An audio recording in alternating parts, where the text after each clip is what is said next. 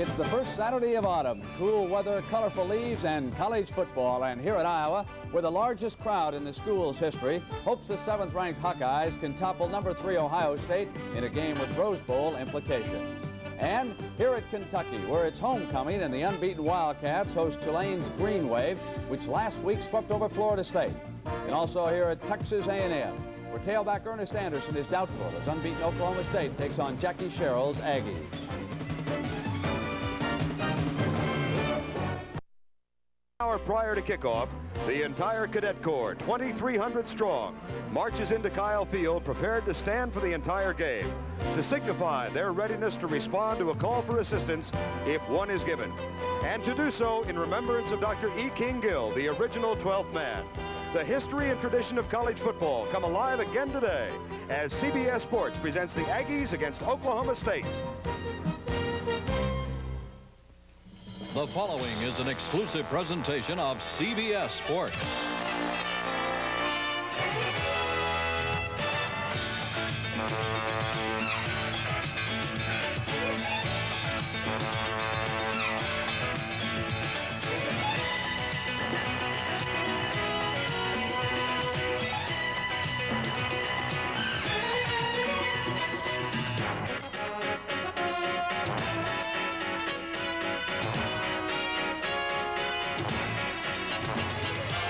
From the campus of Texas A&M University in College Station, Texas, it's the Oklahoma State Cowboys versus the Texas A&M Aggies. Sponsored by AC Delco, General Motors Corporation. AC Delco is the way to go.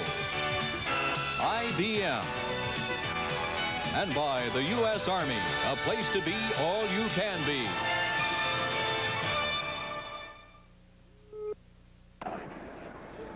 Perhaps no school in the country has a stronger or more loyal following than does Texas A&M. And again this afternoon on a gorgeous September day, we expect a crowd of between 55 and 60,000 for this interstate meeting between Oklahoma State and Texas A&M. Good afternoon once again, everybody. I'm Verne Lundquist, and welcome to the first time Oklahoma State has been here at Kyle Field since 1939. They are undefeated. The Aggies are once beaten, but both of these teams probably would feel quite comfortable in the company of Rodney Dangerfield. They are enormously desirous of some respect.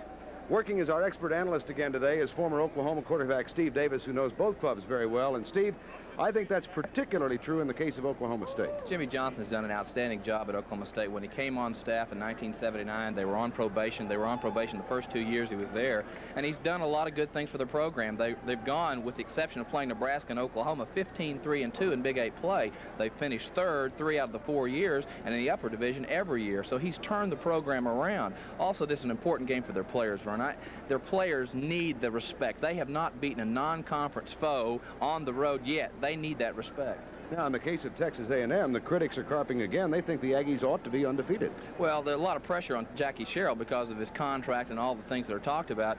People at Texas A&M have to be realistic. They've only had eight winning seasons in 23 years here. It takes a while to turn a football program around, and Jackie Sherrill's doing it methodically, but he's getting it done.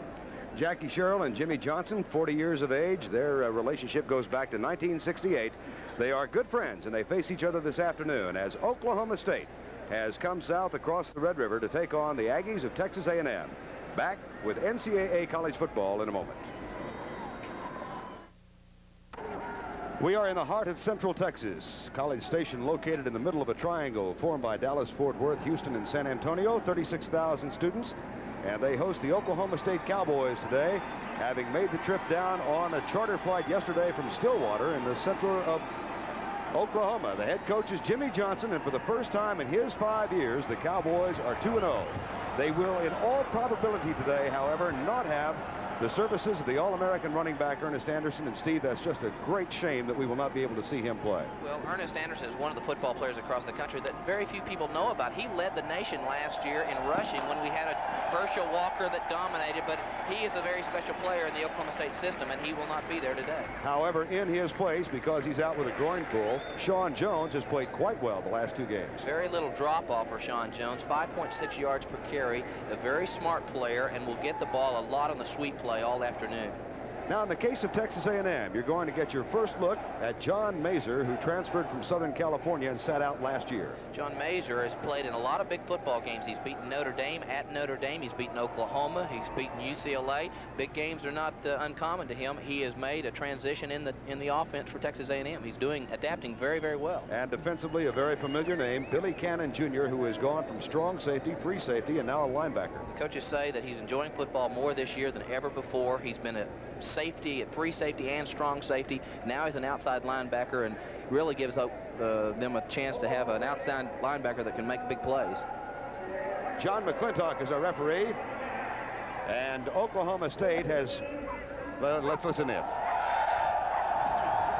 Texas A&M will defend this goal. Microphones are in order. Texas A&M will defend the goal to our right. That is the south goal. They are dressed in their home uniforms, maroon and white. And the Cowboys of Oklahoma State, 2-0. A&M is 1-1. And now one of the great traditions at this school, the football team facing the student body and singing the spirit of Aggieland. It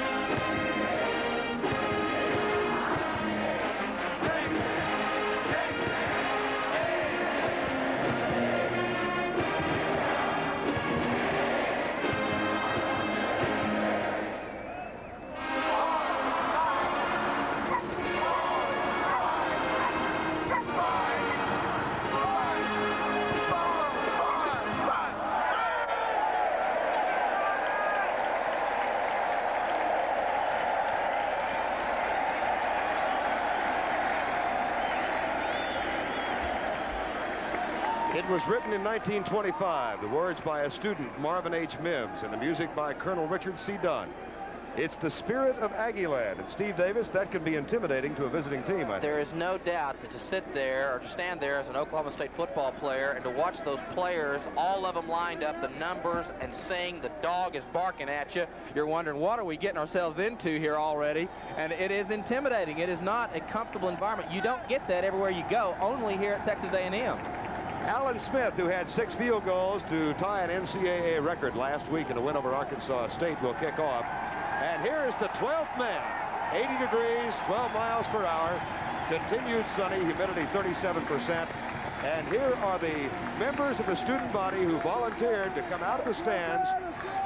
And Ike Lyles, who wears number two, was the 12th man who made the first hit, that in the opening game against California. Now, the only scholarship player out there is Alan Smith. So you get your first look at one of the most publicized elements of college football this year when Jackie Sherrill announced a year ago that he wanted to use student body members for home games. Many thought he was uh, just teasing, but he said absolutely. And they had 241 students who responded to the call. 17 have been chosen. They play in home games only. And there are the two men deep, Robbie Riley and Harry Roberts. And we'll see how these kids give up their bodies on the kickoff.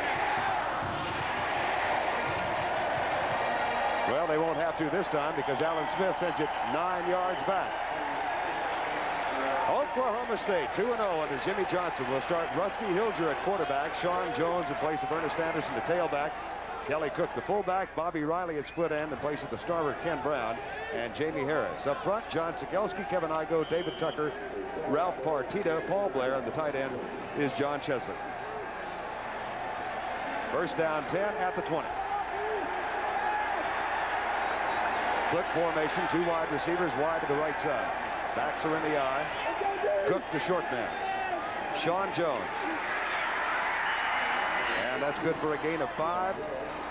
Into the arms of Jeff Payne, number 49 for Texas A&M. Defensively, the Aggies have gone to a 3-4 this year, and up front they've got Ray Childress, Chris Lammers, and a very light defensive end, Scott Polk. The linebackers, Jeff Payne, Greg Berry, Jerry Bullitt, and Billy Cannon. And then the secondary, Billy Brown, Daryl Austin, Domingo Bryant, and Wayne Asbury. That is probably the weakest element of the Aggie defense. Second down, five, Oklahoma State. Man in motion coming across from the near side. And off to Jones again. Popped to the line of scrimmage, and he gained two.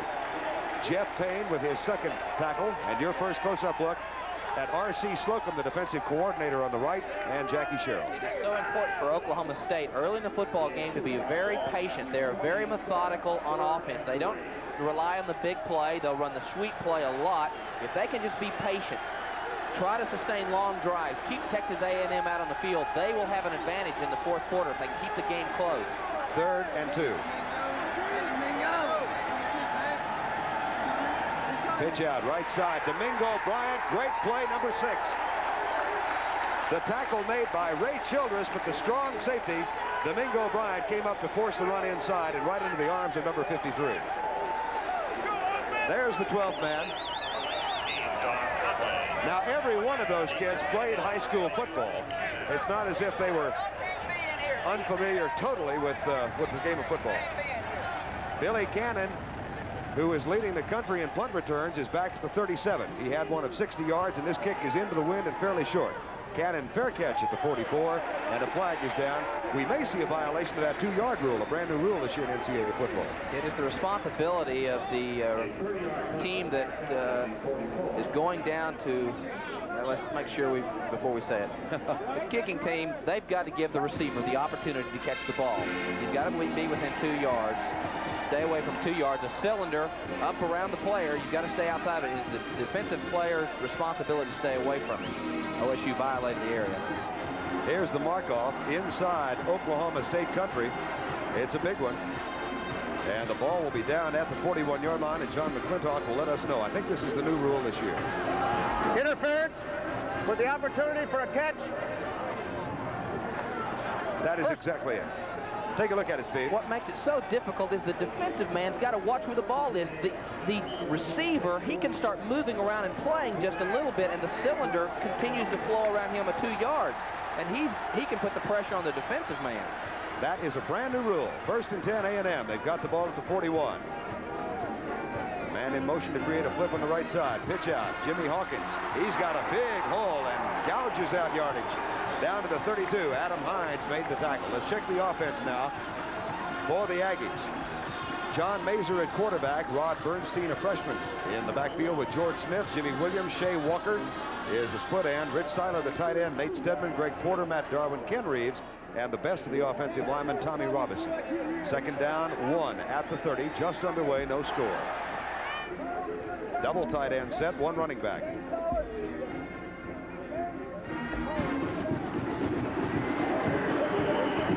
That's Hawkins again. John Washington made the tackle. And defensively for Oklahoma State, Warren Thompson, a junior college transfer, Rodney Harding, John Washington, Leslie O'Neal, and James Ham, who was guilty of that infraction on the punt. Matt Mungler and James Spencer in linebacker. And Chris Rockins, Adam Hines, Harry Roberts, and Roderick Fisher in the defensive secondary. Enough to move the chains. It'll be first down 10 A&M at the 30-yard line. Interesting, Steve, they have yet to score a touchdown rushing this year.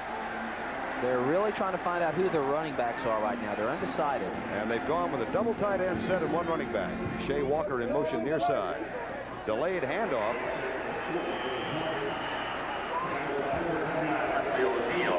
Goes to Jimmy Hawkins. No gain.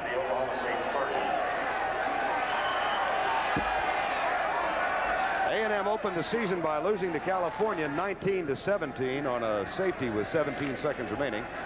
And then they devastated Arkansas State last week 38 0 Oklahoma State defeated North Texas. And then on the road last week they won at Cincinnati. Second and 10. Mazur stays with a double tight end set. Pitch out. Hawkins around right end. Got a good seal block and then slips and there's a flag down at the 18 yard line. Tackle made by James Ham, number 40, the defensive end. 24-yard line. There is a flag on the play. Holding. Aggies. Today's officials, John McClintock, Bill Enger, Tom Ahlens, Don George, Jerry Kleinsmith, and Randy McAnally. Split crew once again from the Southwest and the Big Eight. And this penalty goes to the South against Texas A&M.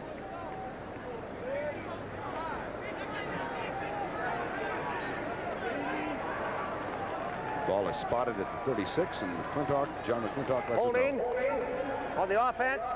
10-yard penalty. Second down. That'll set up a second down and 16. Six-yard line, and that loss of six. Duncan Webb and Rich Seiler are the two defensive ends for uh, the offensive ends, the tight ends for Texas A&M. And two wide receivers, and they stay with that double tight end set with one running back.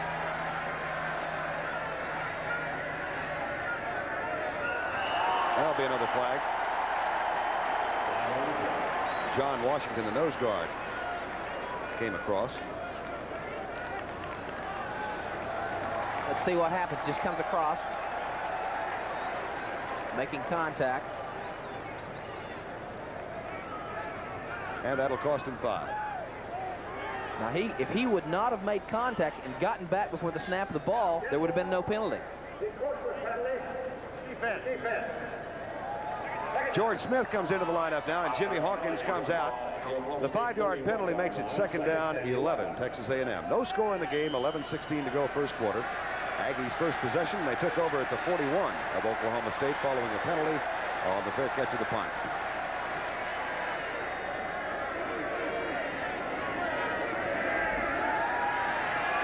Screen pass from the left-hander to the left side. Rich Seiler, the tight end. And a fine defensive play at the 29 by Chris Watkins, number 37, and John Washington, number 80. There's a look at Watkins, senior out of Sherman, Texas. He is one of 35 young men on the Oklahoma State squad who come from Texas. Interesting, Steve, they have recruited more Texas athletes than has Oklahoma, your alma mater. Well, I, Jimmy Johnson, of course, has an outstanding background in recruiting and, and really has become very picky and selective in his players. He has gotten smarter athletes, better students, and he has found a lot of them in Texas. Mazur back to throw on third and eight. He's got a very strong arm, comes deep single coverage, incomplete.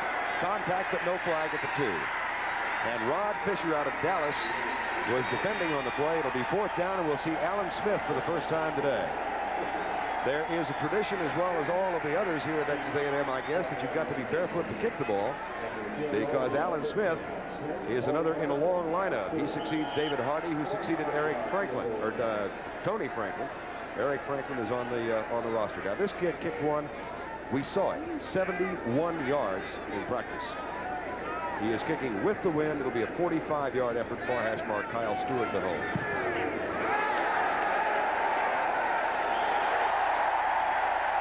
Got it. So he is now 8 out of 11 for the year. 10-12 remaining in the first quarter. Alan Smith's 45-yard field goal has given the Aggies a 3-0 edge. Bobby Riley and Harry Roberts are deep to return. And the 12th man back on the field for the second time. I think they get upset, Steve, when uh, when he does put it in the end zone.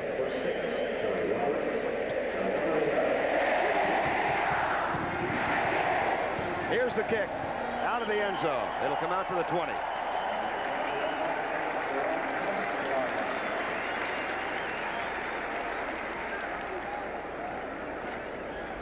Oklahoma State gets the ball for the second time. 10-12 to go in the first quarter. And a crowd expected to be 60,000 today. First time they have played here since 1939. And the fourth time in the school's history they have played here. High formation. Sean Jones gets the handoff at left tackle, and he's out to the 25. They are a very basic team. Very conservative in their offensive style, but that's fine. Jimmy Johnson has a philosophy. There are three phases of the game. The power offense, the option offense, and the passing game as we look at other scores that are happening in the Southwestern Conference, in the Southwest Conference. They rely on the power game and the pass. And they are should be and try to be methodical. Motion now from the left side. Handoff again to Sean Jones. Room to run. Bumble. Aggies have it.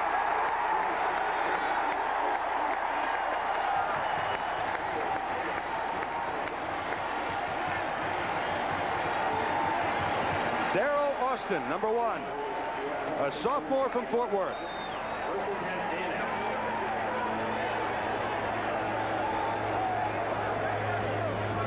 So the first turnover of the game has gone Texas A&M's way. They are only 35 yards away.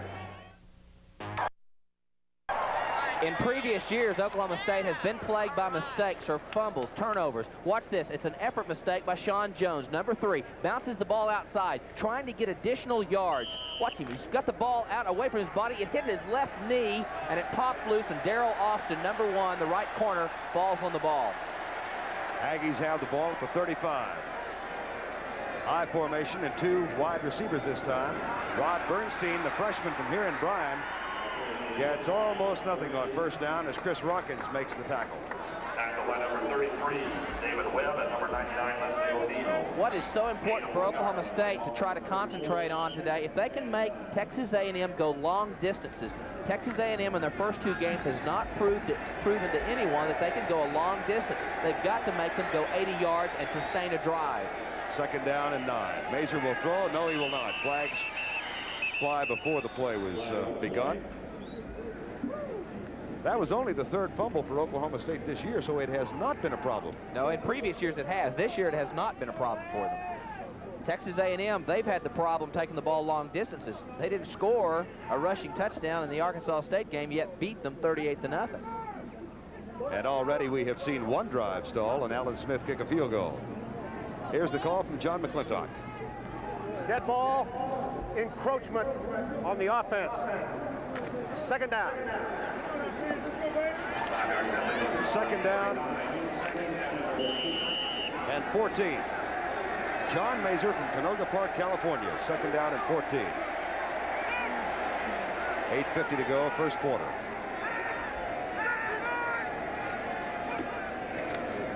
He'll take the two-step drop, and he's got a man open, but Jimmy Teal can't hang on, and he was dancing with the sideline. At any rate, it may have been a problem for him to come down legally. I really like John Mazur as a quarterback. He is an intelligent young man. In fact, almost so intelligent that when they try to put in a little new wrinkle in the offense, he really questions the coach's philosophy on it. He's been a big game player, as we said earlier. Beat Oklahoma, Notre Dame, UCLA. So really, the transition of losing a great quarterback like Kubiak last year has been made relatively easy by John Mazur. He has a third down and 14 right now. Blitz is coming. Blind side, draw play. And John Washington stayed home to make the tackle. Number 80, the nose guard. And it'll be fourth down, and we'll see Alan Smith for the second time. So the problems moving the ball continue for A&M. That's right. Now, A&M's philosophy has changed a lot this year. They are a throwing team. They're not a rushing team. They're not settled on their running back, so that's part of the problem. They spend more time in pass protection than rush protection. This will be a 59-yard field goal. Among the six that Alan Smith kicked last week was one of this distance.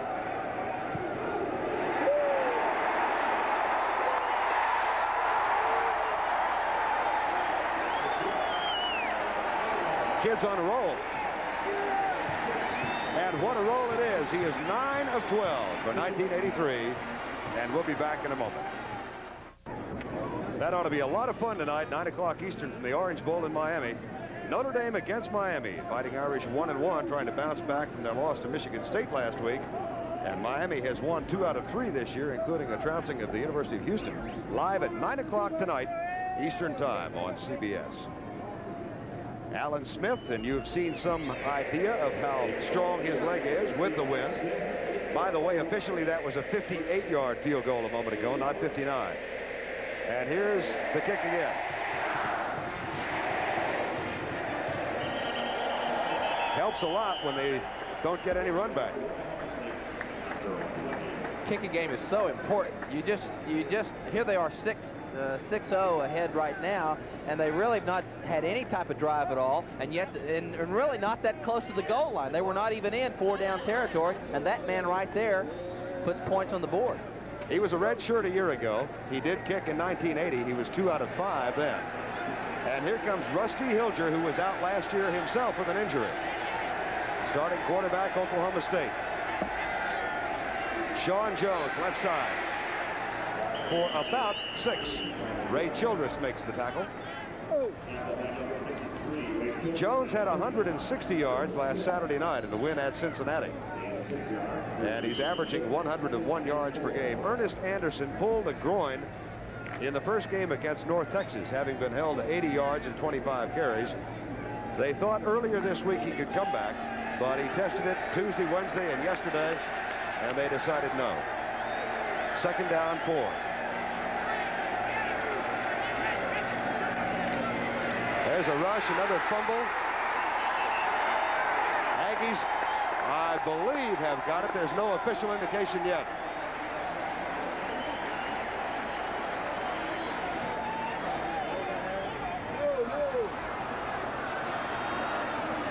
And it will stay in the possession of Oklahoma State. Let's let's see if the handoff was clean. Sean Jones gets the ball, secures it. Right there, it was a good. Was that Cannon 22? Couldn't tell who popped the ball loose, but it was a good effort right there. Daryl Smith, number 39. Third down, three. Sean Jones. Kenny Zachary instead, number two. And he's not going anywhere. Daryl Smith and Ray Childress. Number 39, a sophomore from Pasadena, Daryl Smith. This is a real test on Oklahoma State. They've got to remain patient. Just because they've not moved the ball, set tight, be patient, keep coming back, keep forcing the issue. Fourth down, and John Conway is on to punt.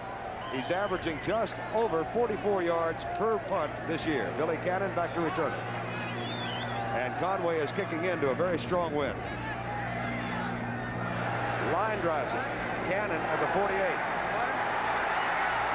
To the 45. Terrence Scott makes the tackle. Five minutes, 54 seconds remaining in the first quarter. Two field goals have given the Aggies a 6-0 lead. 5.54 to go in the first quarter of play. Alan Smith with two field goals has given the Aggies a 6-0 lead, and they've got great field position once again. An inexplicable problem for Oklahoma State. They have not had the reputation this year, Steve, of giving up the ball. Maybe the intimidation early in the football game was a factor, but Texas A&M doesn't want them to drive the ball down their throat. They want to try to see those kind of mistakes, and that's what they've got. Double tight end set with one running back once again. Shea Walker in motion near side. Handoff goes to Jimmy Hawkins, the sophomore from San Antonio. Now let's go to Brent Musburger in New York for this NCAA update. Of Ohio State trailed Iowa by a field goal, 3-0, but watch Keith Byars on the dive. Straight ahead blocking here against Iowa's defense, and Ohio State now leads it 7-3. Let's go back to Verne. Okay, Brad, our score is 6-0, 5.25 to go first quarter. Second down, 9, A&M at the 44 of Oklahoma State.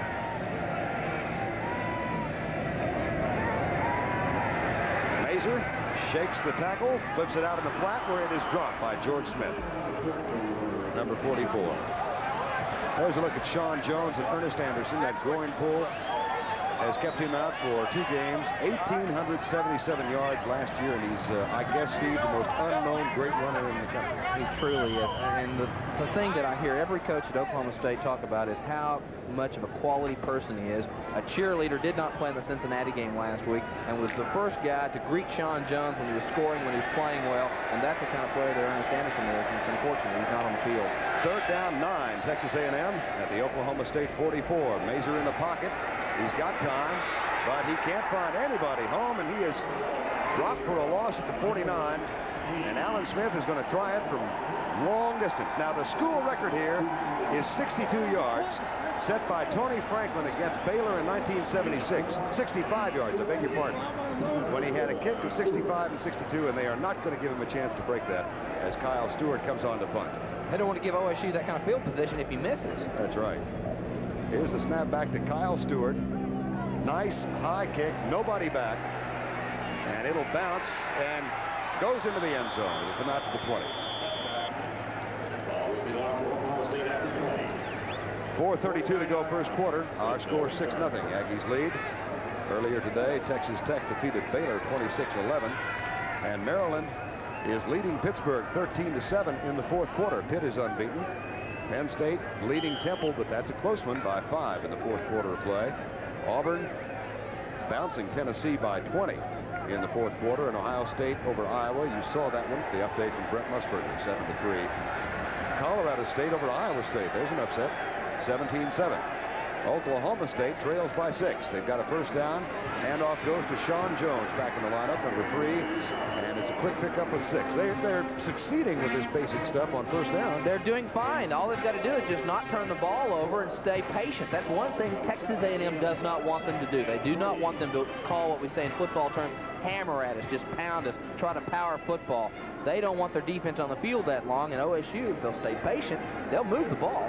They have a second down and three. That was a gain of seven for Sean Jones, who has now picked up 36 yards already in eight carries.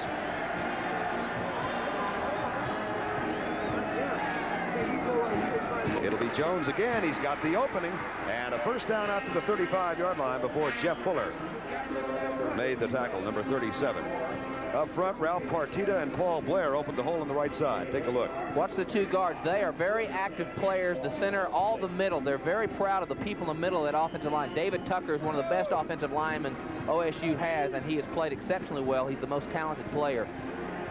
And the left side, that time, John Sigelski, number 71, and Kevin Igo, 61, helped it. Penn State wins, breaking the three-game drought, 23-18. Jones again, and runs into some traffic, but he still picks up about three as Fuller and Payne make the tackle. Clemson bounces Georgia Tech 41-14, a final score today.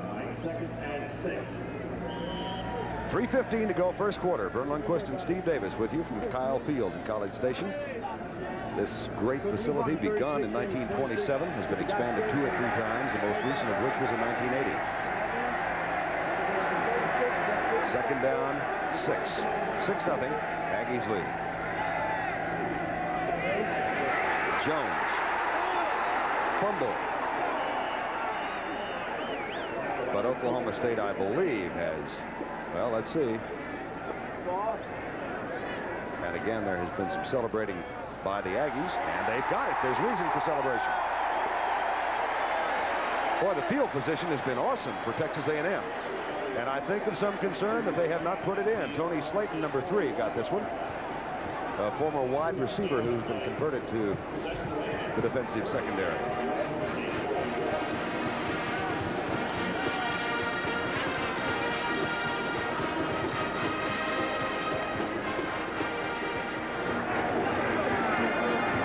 Hard not to get pumped up.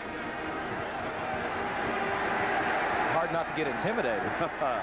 First and 10 Aggies. They've got the ball at the 40-yard line. Again, the double tight end set with one running back. George Smith gets the pitch out. It comes left. He's got two good blocks, but he's being strung out, chased and down at the 38-yard line by the corner, a tiny guy, Rod Fisher, 5'10", 190.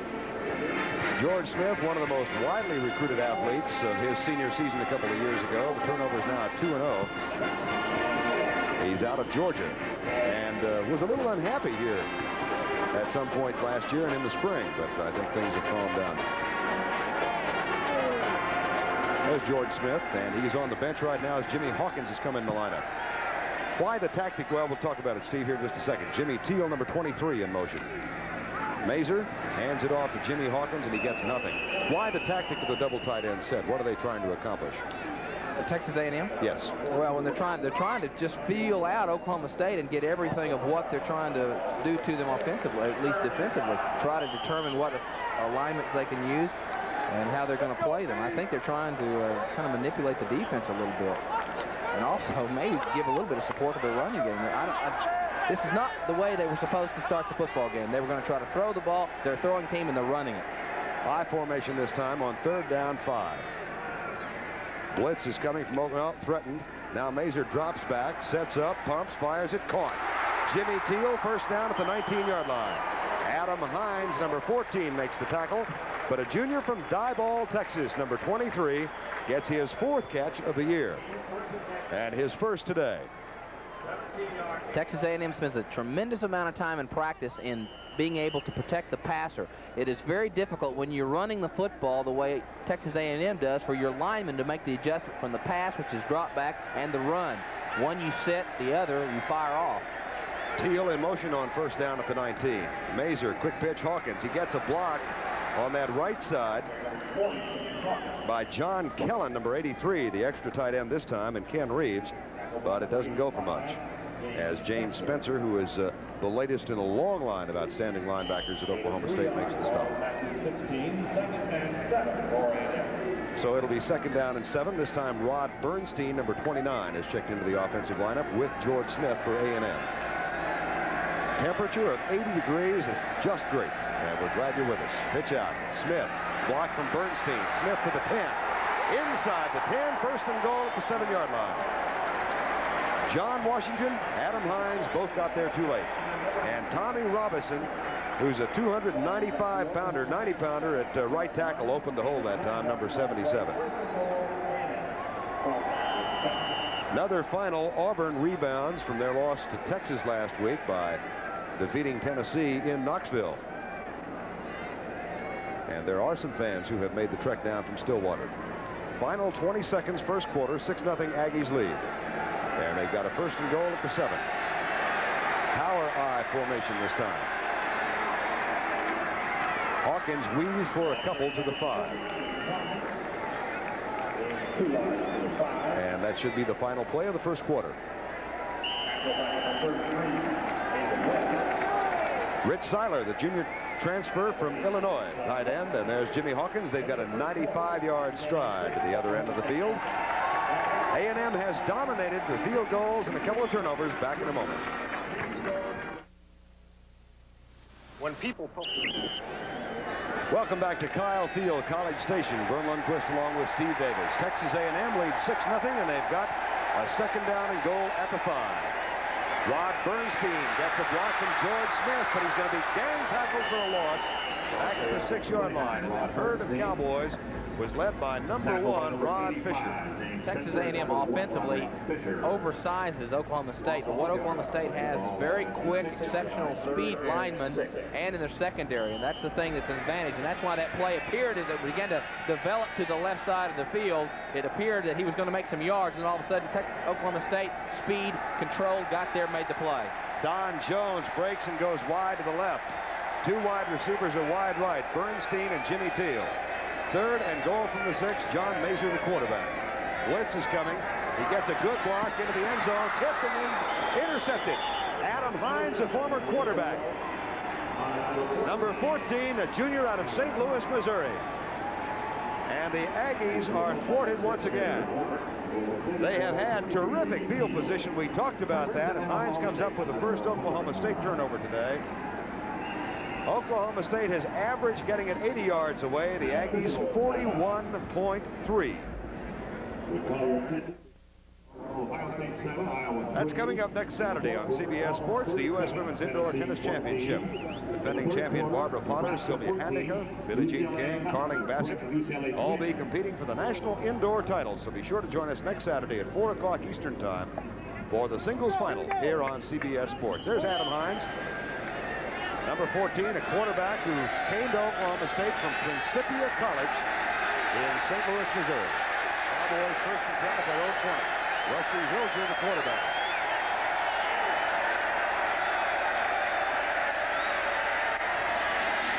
Jones may be gone. He is.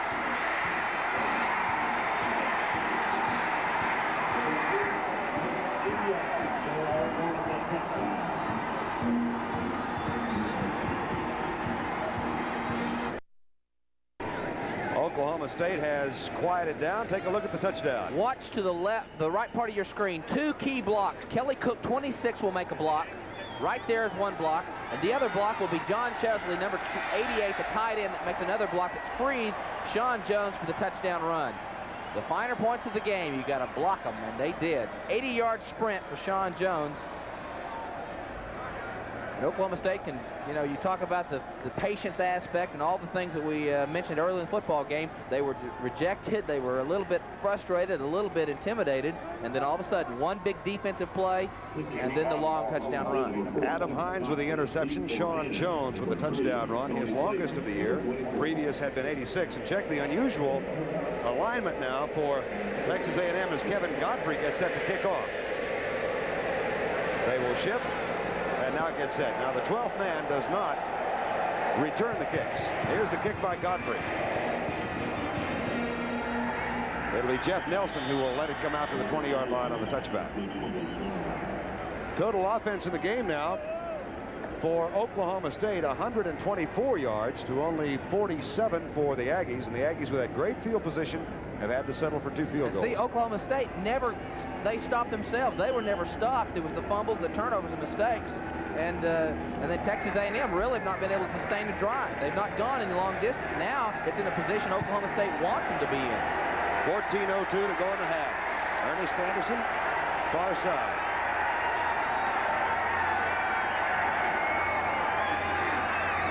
George Smith.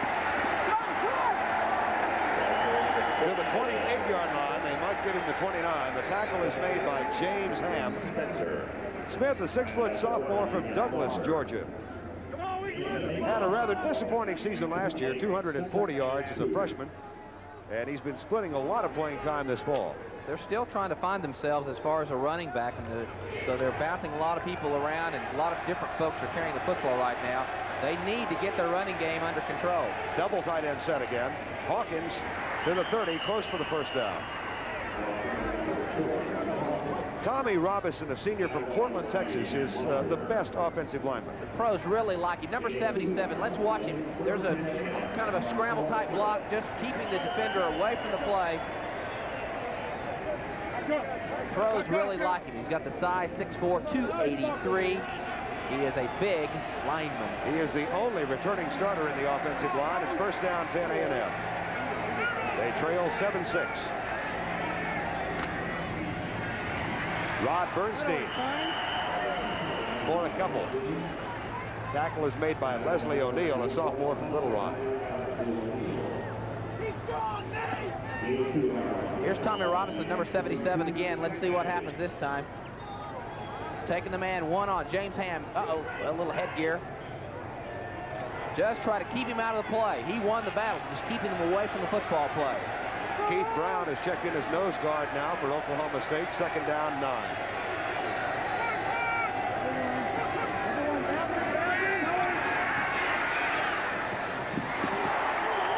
Caught. Rod Bernstein with a nice diving catch at the 36-yard line.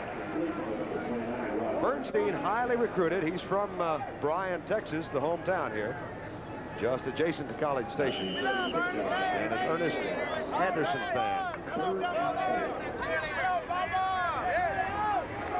Maryland over Pittsburgh, a final 13 to 7. First defeat for Pitt. Third down, five. Bernstein changing at the line of scrimmage.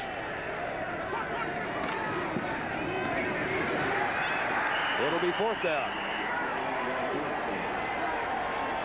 Rodney Harding and Leslie O'Neal collaborate for the tackle. Nebraska leading UCLA by 11 in the third quarter. Penn State defeated Temple, their first win of 1983.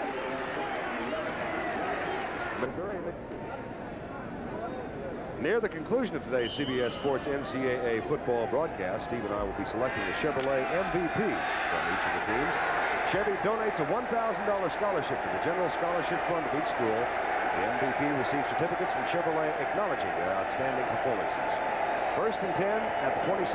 The fullback, Kelly Cook, gets the handoff. A junior from Midwest City, Oklahoma, and fresh from his best game at Oklahoma State. He had a big game last week against Cincinnati. One of the things Texas A&M is doing on this particular drive on the first play is they have they are generally a 3-4 defensive unit. Now they are in an eight-man front look trying to make sure that they can stop the pitch play. They've got to feel like that they can stop or control the running game, force Oklahoma State into an unfriendly environment of the pass. So you've got three defensive backs. Now they're in a four-deep secondary. Second down, six. Ball at the 30. Hilger will throw. Deep right side. Man is there. Can't get it. Pretty good coverage from the cornerback on that left side, Billy Brown. The pass intended for Jamie Harris, whose brother Leonard played earlier today as a wide receiver for Texas Tech. Well, your alma mater is not having any problem. Tulsa University is a fine football team. They really have played well over the years, but Oklahoma is probably trying to rally back. Air Force leading BYU and Colorado over Oregon State, 21 zip in the second quarter. Our score here is 7 to 6. Oklahoma State leads Texas A&M. Rusty Hilger, junior quarterback from Oklahoma City under his center David Tucker. Third down, six. Into the flat. This is going to be dangerous. The tackle is missed, and it's good. Close for the first down up near the 37.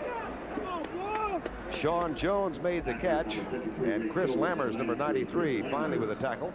Very smart defensive play calling. They came up in the first down play. They went to an eight-man front, expecting the run. They got the run. They put them into a tough second down situation. Two passes, what Oklahoma State doesn't generally want to be doing.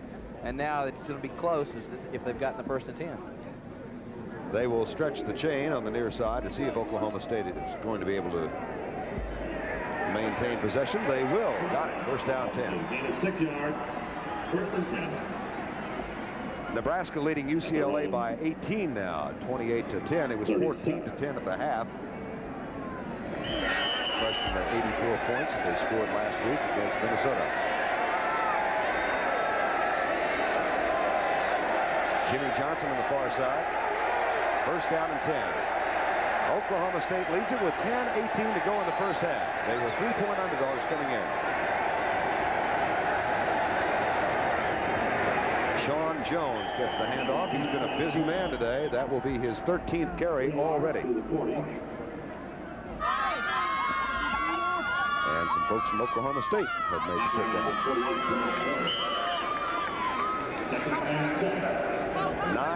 9.52 to go first half. Rusty Hilger waits for the play to be brought in. And he may have to call timeout. They've got the 25-second clock working now. Tony Wilkins ran the play in, and they do call time. So Hilger will talk it over with his coaching staff on the far side. Oklahoma State on the strength of an 80-yard run from Sean Jones has a one-point lead at this time. An update on Nebraska. The Cornhuskers have scored again against UCLA. Turner Gill, the backup fullback Tom Rathman. It is now 28-10 over UCLA. Let's go back now to Verne Lundquist. Thank you, Brent. Steve Davis, I don't know of a better one than Turner Gill. Boy, Turner Gill can do so many things with his ability to run the ball. He's just afraid he's going to run rather than throw. Second down and seven, Oklahoma State with a one-point lead. Hand off to Sean Jones. Gets a couple and a flag flies. Daryl Smith, number 39, made the tackle. And we'll see against whom the infraction will be called. If you joined us late, the Aggies had great field position following a couple of fumbles and had two field goals. We've got a holding call against Oklahoma State. That gave them a 6-0 lead at the end of the first quarter, but early in the second quarter, Sean Jones, playing in place of the injured Ernest Anderson, the All-American, went 80 yards with a touchdown that has given the Cowboys a one-point lead.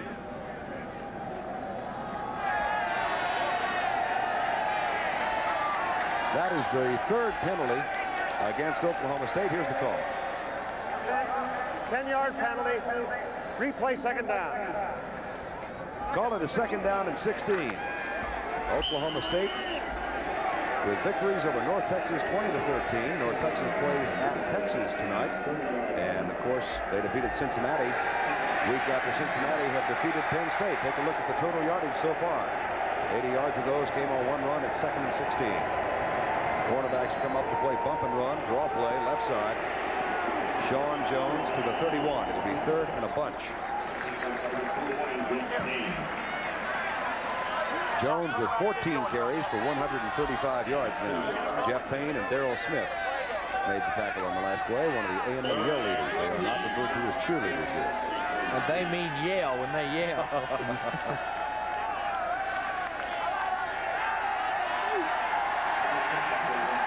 Third down, 14, 8.55 to go in the first half. Oklahoma State with the ball at their own 32, with the exception of the 50-yard, 80-yard run. They've not been across midfield. Daryl Smith coming in, threatening a blitz. Flag is down, delay of game.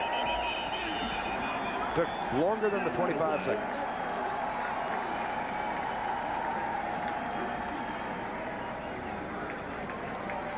That cost them five more. It'll be third and 19.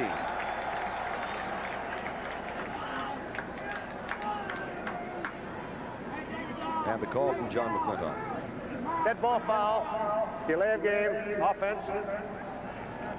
One of the things in Texas A&M making the transition from a 4-3 defensive style from last year to a 3-4 is just the number of athletes. They feel like they can find three good down people a little bit stronger, uh, easier than they can four. There's the third down conversions on Oklahoma State. Third and 19. Aggies threaten the blitz. Greg Berry drops back. It's a regular rush. Go deep left side, dropped. It would have been enough for the first down. Bobby Riley, who was recruited as a quarterback from Stroud, Oklahoma. And uh, the young man who was there to help break it up was Daryl Austin, the sophomore from Fort Worth, as you look at Reveille 4. Again, Oh, you really look at Reveille 4. Hey, listen, he'll bark at you. One of the things about Riley, he had a chance. The ball was hit him where it should have. He's 18 years old. Last year, he was playing for Stroud High School in Stroud, Oklahoma. a lot different than being down here. Billy Cannon back to return the punt of John Conway, who gets uh, to ride the breeze. Fair catch call for Cannon. Fumble. Oklahoma State has the turnover.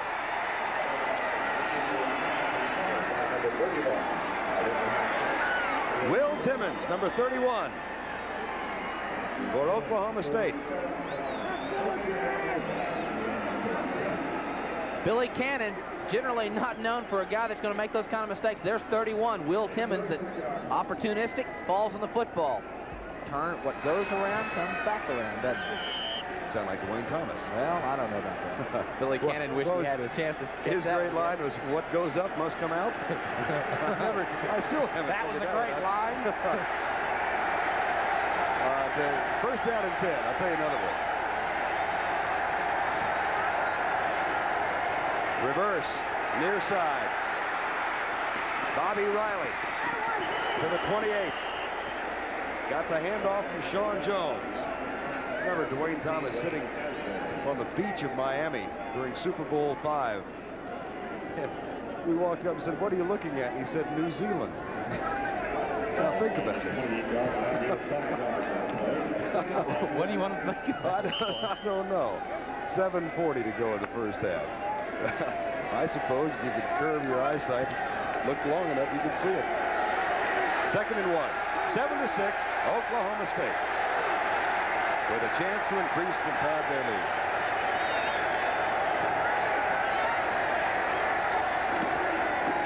Sean Jones, first down inside the 25. Rod Sadler, a freshman defensive end, number 99, and Jerry Bullitt, the linebacker, number 33, make the tackle. Good size contingent has made the trek down from Stillwater, Oklahoma. Boy, does Oklahoma State have a schedule coming up after this tough road trip. Tulsa at home, Nebraska at home, Oklahoma at home in the next three weeks. First down, 10. Cowboys lead 7 to 6.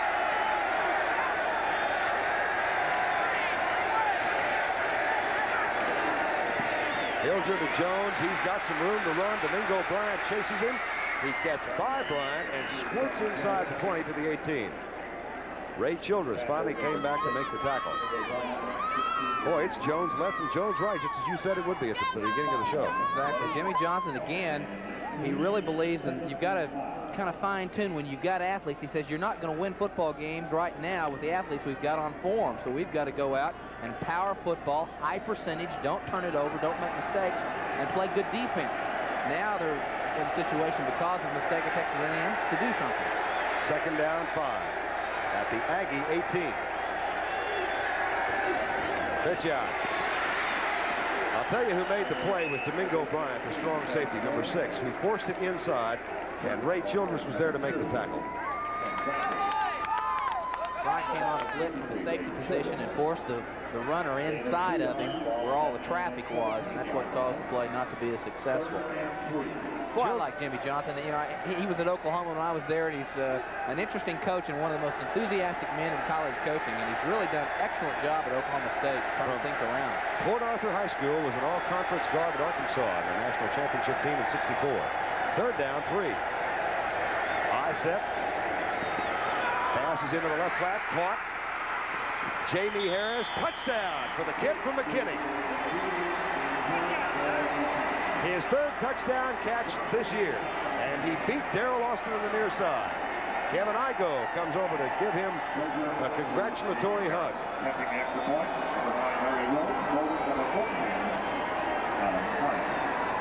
He started out at Texas Tech and then sat out a year after transferring, so this is his first year Oklahoma State. The kick from Larry Roach is good. It's Hilger to Harris for the touchdown that comes with five and a half to go in the first half. Here's the replay. It appears there was a blitz, so they had to go single coverage. Austin on Harris. Let's see the angle. There's not even close. He doesn't have an angle. He doesn't have the receiver out in front of him, and that's the touchdown. I think there was a blitz to the other side, causing him to go man on man, and a poor position, not even close. Touchdown. Just a day in the sun for Rusty Hilger. Tomorrow, many of you will see an NFL doubleheader on CBS Sports. In the early game, the New Orleans Saints against the Dallas Cowboys, a team the Saints have beaten only once in 67. Then in the doubleheader game, the Washington Redskins will meet the Seattle Seahawks or the Los Angeles Rams and the New York Jets. It all starts with the NFL today. Check local listings for the games and times in your area tomorrow on CBS Sports. Bert, I did a little analysis right before the football game. Texas A&M has had one 12-play drive. The rest of them are four, five, six type uh, play drives, and that's what Oklahoma State can take advantage of now, make them go a long way. They've not got a good, solid running game and a passing game. You better be high percentage and lot of them, and they've not so far in this football game done that. End zone view as Kevin Godfrey kicks off with the win. Joey Harris waits for it at the goal line and has it now at the 10. Runs right into the tackle at the 13-yard line. We are live at Kyle Field in College Station. CBS Sports and NCAA football. The Oklahoma State Cowboys leading the Aggies of Texas A&M 14 to 6 with 5.15 to go in the first half. I'm Verne Lundquist along with former Oklahoma quarterback Steve Davis. As Oklahoma State tries to go 3-0 in this 83 season before heading back home. And the Aggies try and silence the critics with a victory. They are 1 and 1. Not a bad day to ride the crane in the sun at the end zone, huh? High formation for Texas A&M. Mazur hands it off left side to Rod Bernstein. And Harry Roberts, number six, comes up to help Rod Fisher, number one, with the tackle near the 20. I'm a little surprised they've not thrown the ball like we thought they would. I really, the short passing game, the high percentage type passing game that, you know, I, I think that Jackie Sherrill and the offensive coaches are trying to get implemented here at Texas A&M, and they've not really used uh, Mazur's ability and talent. John Mazur from Canoga Park, California. 3.6 is a biochemistry major. He's going to be a dentist someday. Second down, two. Big hole. Bernstein, first down plus out near the 26. Leslie O'Neal, number 99, and Harry Roberts, number six, make the tackle.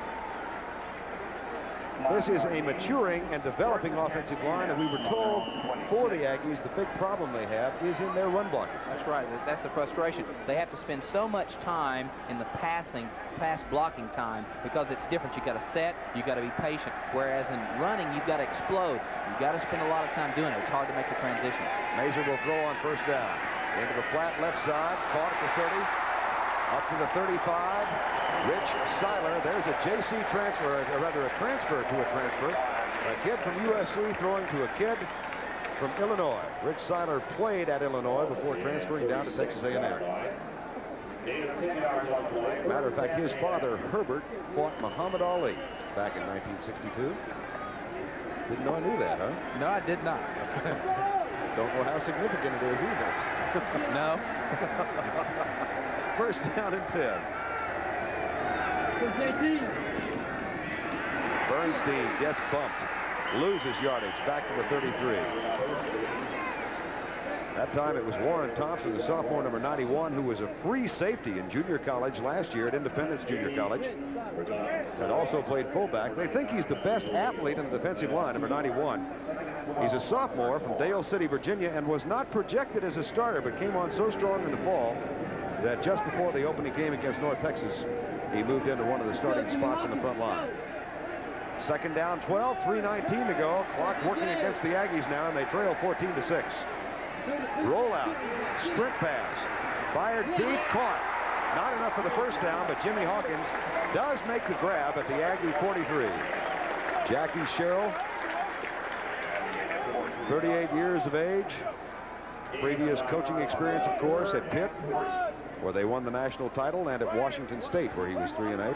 And the relationship between Jackie and Jimmy Johnson goes all the way back to the days at Iowa State in 68 when Jimmy Johnson was his boss, in effect. That's right. And then when Jackie went to Pitt, he hired Jimmy Johnson to come up and be on the staff. And uh, they've got quite a relationship. Third down, three. 3.10 to go in the half. Pitch out. Not enough for the first down. Ron Bernstein. It'll be fourth down, and Kyle Stewart's going to come on and kick into the wind. There's 40-year-old Jimmy Johnson out of Port Arthur, Texas. We're talking about the relationship of the two men. They'd still like to beat each other. They'd like to beat the other one. Kyle Stewart is on to punt, and Bobby Riley almost blocked. Harry Roberts came through and almost got it. Gets an A&M roll back inside the 15, near the 10, and limps to a stop at the 10-yard line. Does so with 2.32 to go in the half, a 46-yard punt. Colorado State leading Iowa State. That is now a fourth quarter score. And Brigham Young over the Air Force 12-7. The Air Force defeated Texas Tech earlier this year. Gave you that Oklahoma 28-0 over Tulsa. That's Steve's alma mater. My alma mater's at home tonight. They got a big one. Texas Lutheran at home against Ouachita Baptist. So Cliff Harris and I, the Cowboys, will argue about that one. Handoff, Sean Jones, not much there. Jerry Bullitt, number 33, who has a great name for a linebacker, makes the tackle. 2.17 to go and the clock running. 80 degrees at kickoff. It's just a gorgeous September afternoon. 14-6. That guy's team is not in the lead. Jackie Sherrill's Aggies trail Jimmy Johnson's Oklahoma State Cowboys. Two minutes exactly.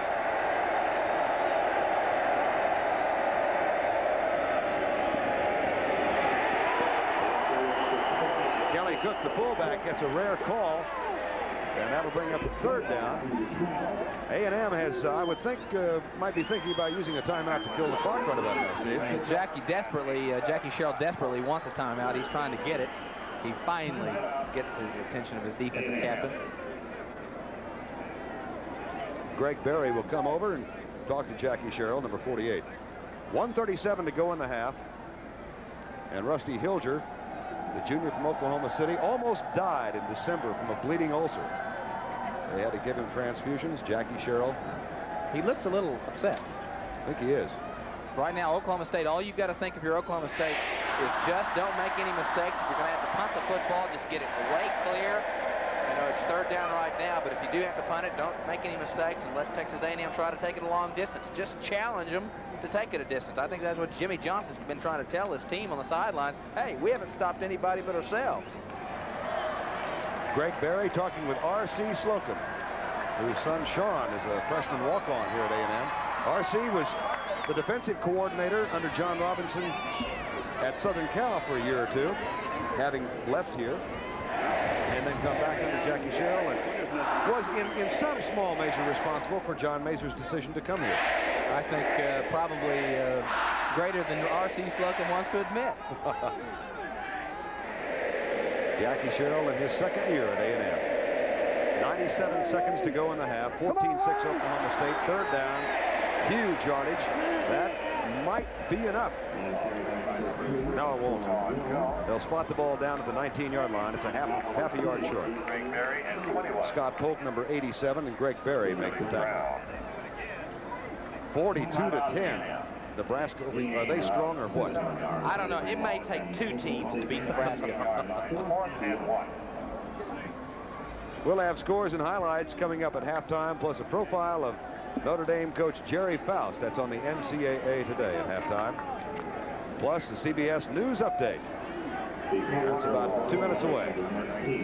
Of course, tonight on CBS, it'll be Notre Dame at Miami, live at 9 o'clock Eastern Time, 8 o'clock Central Time on CBS. John Conway on the kick, and Billy Cannon, who has a 23.2 yards per return average for the year, is back to return it at the 30-yard line. And he returned one 60 yards for a touchdown last week. He'll have a chance to run this one back. Plenty of room at the 29. He's got 4-4 speed. To the 46-yard line, a lot of time left, a minute 13. 53-yard kick, 26 on the counterpunch. Will Timmons, number 31, made the tackle. So they do have time, but they have had problems getting it in the end zone. They've had to settle for Alan Smith twice already today.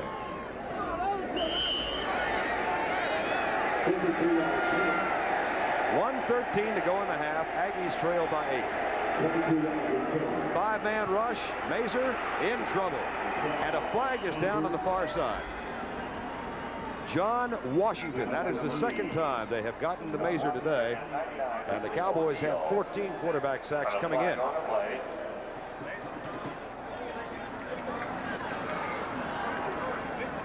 John Washington, a sophomore from Houston. I promise you that time Oklahoma State got after that Texas A&M line. I mean, they had four people rushing, and they were just throwing bodies left and right and trying to make something happen, and they got to the passer. There's the 12th man or one of them. See another one down. That's Lance Holman, uh, Larry Holman right there that we're zooming in on right now. His uncle Curly is uh, on the staff here at A&M. He's from Alabama. This is like old home week for you, Vernon. it's fun doing a game at home, or close to. Holman, Klein. Second down. Holding call is declined. Holding call on A&M because of the quarterback sack. Coming up at halftime, Gerry Faust will be profiled by Pat O'Brien on the NCAA Today, plus a CBS News update. Second down, 17. Mazur into the flat. George Smith being chased, caught, dropped at the 49-yard line by Rodney Harding, number 42, and James Spencer, number 85. You just have to give credit to Oklahoma State's defense. I mean, they're keeping them under control. They're giving a good blitz on Mazur, the quarterback, and then they're being able to break on the ball when the reception's made. I mean, you cannot fault their defense right now. They did a great job on that pass, and I'm thinking back to the fact that they are number one in the country against the run. They have only given up 35 yards per game against the run, and Jimmy Johnson said, well, yeah, but we've been playing passing teams. That's right. Well, they have done a great job against the run today, as well as the pass. And really, early in the football game, they were so intimidated. I mean, really, they, hearing the Aggie song, you know, played in front of you has to intimidate you a little bit. And they started out very shaky, but they pulled it back together, controlling the game. Jim Spencer follows Mike Green and Ricky Young among the great linebackers at Oklahoma State. Spencer to show you how this defense has been rebuilt. He is the only player on Oklahoma State's defensive team that is playing in a position that he played last year. Everybody else is in new spots. That's to the credit of Jimmy Johnson's defensive staff. Spencer is a senior, another Texan from Garland. Jimmy Johnson, 40 years of age. His son, Brent, is a freshman at the University of Texas football team and made the tackle on the opening kickoff last week against Auburn. Jimmy didn't get to see it because he was watching us do Indiana, Kentucky. Third down and 15. 46 seconds to go in the half. Mazur intercepted. Spencer near side to the 50 and out of bounds at the Aggie 43. That is the first time this year that John Mazur has been intercepted, and he has been sacked for the first times this year already in the first half. It was intended for Shea Walker. Spencer gets the turnover, which are now 3-2. You know, I don't want to be critical. Mazur dropped back, had the, plenty of time around him, threw it right to James Spencer. I mean, just flat out threw it to James Spencer like he's playing catch with him. Now with just over a half a minute remaining, Oklahoma State might want to try and pad its lead. They've got two timeouts left.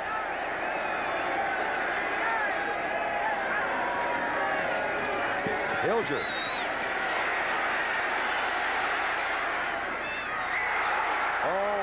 Intercepted by Billy Brown, one of the midgets who plays cornerback for the Aggies. He's only 5'7", 160. And has one pick off this year. Aggie turnovers have all come in the second quarter after Oklahoma State fumbled it away twice in the first 15 minutes. And we've got 28 seconds to go in the half. Larry Roach is an outstanding place kicker for Oklahoma State. As a junior, he already holds all of the school records, and he's getting warmed up on the sideline. They give, may give him a long shot.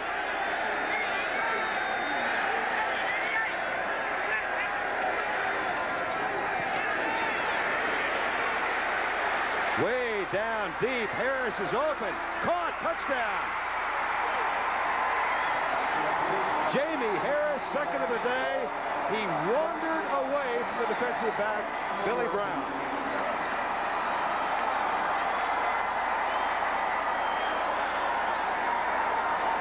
Total loss of by Billy Brown, number 21. He's got him covered. He's all over him. Watch him. Hilger's going to be trying to scramble around. Brown's got him covered. And then he just relaxed and let him get behind him. Touchdown. Oh, you can see it beginning. Here's Larry Roach with a kick. It is good.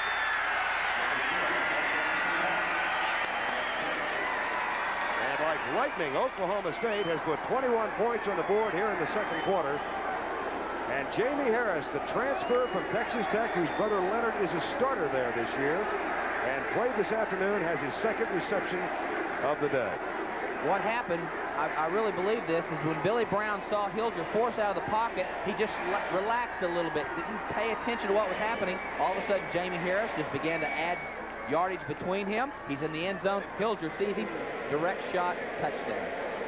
You can't yep. ever, you can never let up like that. You just can't. You got to be concentrating and never anticipate what the quarterback might do. You've got him. He's in your coverage area. Stay on him.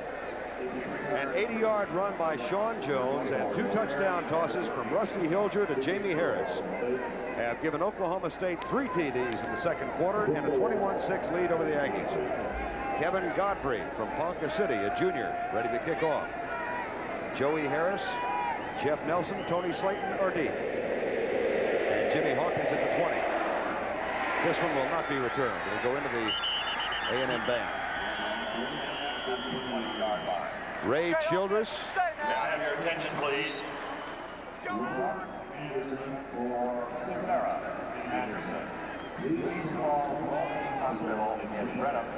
Well, oh, I know what he's feeling. Frustration, you're out there, the, the, heat, everything that you're going through, you're trying to concentrate on your assignments, and you just feel like, you know, what are we doing wrong? You're so frustrated, you can't control the whole game yourself as one player. Now John Mazur brings him back. It'll be first down and 10 with 19 seconds to go in the half. Four-man front for Oklahoma State, and the Aggies will be content to go in and try and regroup at halftime. And it will be a tremendous task for them to do so, don't you think? Yeah, well, now Oklahoma State's got the advantage. They know that Texas A&M's got to throw the football, so you can play a little bit different, smarter defensive strategy. So there's the end of the first half. Oklahoma State shocks this crowd at Kyle Field and themselves, I think. I think you're right. I think you're very right. With a 21-point eruption. Our score is 21 to 6. We'll be back with Brennan Arrow from New York with scores and highlights after this word about an upcoming show on CBS and a message of your local station.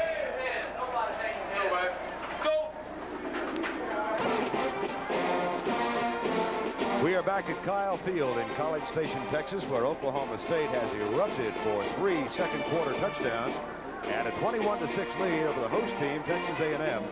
And Steve, I, I'm just really in a state of shock myself over what's happened here in the first half. Well, Texas A&M had everything going for them in the first half. Oklahoma was making mistakes. They were going short yardage uh, distances to get scores. I think that's the point. They did not put it in the end zone. They had to kick two field goals early in the ball game. They should be getting touchdowns by running the ball or throwing passes. They didn't. Then all of a sudden, Oklahoma State gets confidence, and then a lack of concentration on the part of the defensive secondary, and Oklahoma State's back in the football game and way ahead now. If you'll recall, A&M had a 6-0 lead and a third down and five. I called James Spencer's uh, interception the first of the year against Mazur. In effect, it was Adam Hines in the end zone who made the interception, and after that, things just turned around for Oklahoma State. They brought it out to the 21-80, and uh, they have dominated since then. Total lack of concentration by Texas A&M, and I really am surprised. Offensively, they're not really into their game plan, I don't think at all. They're not utilizing their passing game. Now, in the second half, they get in a position where they've got to throw. Oklahoma State can play a smart defensive football game. You can take some chances because you anticipate to catch up, they've got to throw the football. Oklahoma State coaches have got to be surprised. Down on the field, of course, under the direction of Lieutenant Colonel Joe Haney, the famed and muchly understood why Texas A&M band. One of the great precision marching units in the country by a guard, and I mean Kelly Cook, and just breaks and uses speed. That's why we say there's very little drop-off between Sean Jones and Ernest Anderson. 80 yards after the big turnaround of the interception in the end zone. That's what turned Oklahoma State on its winning ways. Sean Jones with that 80-yarder gave them a 7-6 lead, and then the transfer out of McKinney, Texas, an all-purpose athlete named Jamie Harris teamed up with Rusty Hilger. Again, a total lack of concentration. I, I, watch him. He gets forced out of the pocket. Billy Brown's trying to get on him, but he's away from him. He was thinking about run. All of a sudden, there's Hilger sees him wide open, the back of the end zone, touchdown. That made it 21 to 6, and that's where we stand right now in Oklahoma State with 268 yards. Sean Jones, 152 of those yards, and of course 80 came on the run-run. And keep in mind, he's playing in place of an All-American named Ernest Anderson, who uh, is not going to get a chance to play today. Uh, he may not want to play today when he's got Sean Jones doing as well. I think another statistic is the balance that Texas A&M's got to only have the yardage. Mazur's not been effective at all today. That's been a good rush by Oklahoma State, good defensive coverage when they were throwing the football, and then just the lack of consistency in their game plan. John Mazur is 6 out of 11, but only for 45 yards so far, so that's not going to get you much uh, much uh, time in, in the end zone. No, and that coming out in the second half, they're going to be at a disadvantage. They've got to throw. Now Oklahoma State can play smart defensive football, which is to their advantage right now. It will be interesting to see how Jackie Sherrill's troops can regroup because they trail by 15. I think they are in a state of shock, and we're certainly surprised. It's 21 to 6 at halftime. Back in a moment. From its beginnings, Oklahoma State University has dedicated its service to meet society's needs. A modern example, OSU mechanical engineers are studying the human knee as a mechanical device. The engineers plan to design artificial ligaments and knee implants, which will put incapacitated knees back in use. OSU's role in our high technology society enhances personal well-being and our national productivity. Texas A&M, an exclusive presentation of CBS Sports, is sponsored by Chevrolet. America is on the move, and Chevrolet is supplying the wheels. Chevrolet and you taking charge. Pabst Brewing Company, brewers of Pabst Blue Ribbon Beer. For the real taste of beer, Pabst is the place. And by Owens Corning Fiberglass Corporation, makers of Owens Corning's pink fiberglass insulation. We're at Kyle Field in 1983. The original Kyle Field was begun in 1911 and named after Edson Edward Jackson Kyle, class of 1899, the Dean of Agriculture here at the school for many, many years and chairman of the Athletic Council. And this is as it looked. And Dr. Kyle donated the funds for the original Kyle Field, cost approximately $500 and seated 500 folks. Did you see the CBS crew up in the top there? I sure did. and this Kyle Field was begun in 1927 at uh, a seating capacity of 42,000, expanded in 67 to 55,000. The artificial surface laid in 1970, and then it was expanded to its current capacity of 72,000 in 1979. We've got uh, somewhere between 55 and 60,000 today. It is a magnificent facility. And uh, among the many traditions is the midnight yell before home games. And last night, as many as 20,000 or 30,000 gathered in the end zone here. Jimmy Johnson was not among them. He and his team were down in Huntsville, 40 miles away, spending a quiet night and it has served them well because they lead 21 to 6. And that was one of the purposes they were in Huntsville, to stay away from all the activities that going on on, on campus. They practiced very early yesterday morning, away from all the uh, tradition that's here at Texas A&M. And these are the freshmen who come out and form the line for the uh, squad to come through. I thought those were seniors. Are they seniors? I'm sorry. Now we're, we're, we're going to mess up a tradition right here. Right. yeah, you got to. That's right. They have to prove they're seniors or they can't uh, get down there. They've got to, I guess, carry their transcripts. I'm this has sure. got to be one of the greatest schools in the world to go to school because, I mean, they have a lot of fun down here. I don't know. They will. There must be 2,000 of them down there. 2,000 seniors, and the and the team comes out and runs. To, now that kid's a senior, that, and I'm a grandpa. Maybe. but. Uh, Alan Smith is getting ready to kick off. I think we've got a 14-year-old genius who just snuck on the field. Alan Smith will kick off for A&M. We're underway with the second half. And the 12th man will not have a chance to make a tackle because Smith again kicks it nine yards back. Harry Roberts will walk over to the sideline. First down, 10.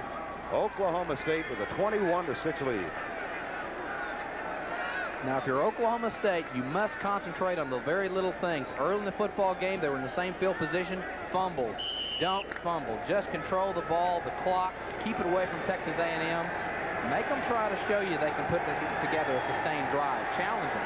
First play of the second half. Good to have you with us. Rusty Hilger, junior from Oklahoma City. Pitch out, Sean Jones. The top game of his career was 183 yards. It came in his sophomore season against San Diego State. He was out last year, Sean Jones was, with a hardship after injuring a leg in the first game. And now the lefty, John Mazur, warming up. His parents, John and Mary Mazur, drove over from their home in California to Scottsdale to watch the game on television today. And he asked us to tell them thanks. Handoff to Kelly Cook, the fullback up the middle. Again, not much there. It'll be third and long as Scott Polk, number 87, made the tackle. A junior out of Dallas. Ray Childress, 14 tackles a week ago. And a big day today. He's a junior, 6'6", 271 pounds. Texas A&M does not respect the ability of Rusty Hilger, the quarterback, to throw the ball consistently. If they can shut him down in the run, they feel like they've got an advantage when he's throwing the ball. Third and six. Domingo Bryant up on the line, the strong safety. Now one of the linebackers drops off. Hilger on the roll, gets a good block. He'll run it. And he's got the first down as he gets it out and is sandwiched at the 33-yard line by Bobby Brown. And Wayne Asbury. Tackler number six, Bryant, and number 21, Billy Brown. That is an important first down play for Hilger to be able to roll out. Receivers were covered, and as a quarterback, which Texas A&M doesn't expect him to run at all, and then to get the first and 10 for Oklahoma State. Just underway third quarter, first and 10 at the 33.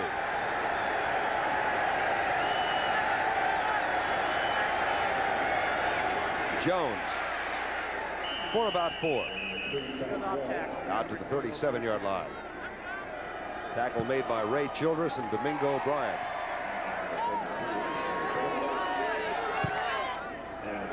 That'll bring up a second down and six. On the ground in the first half, 160 yards rushing for Oklahoma State. And that man had 156 right now on 20 carries.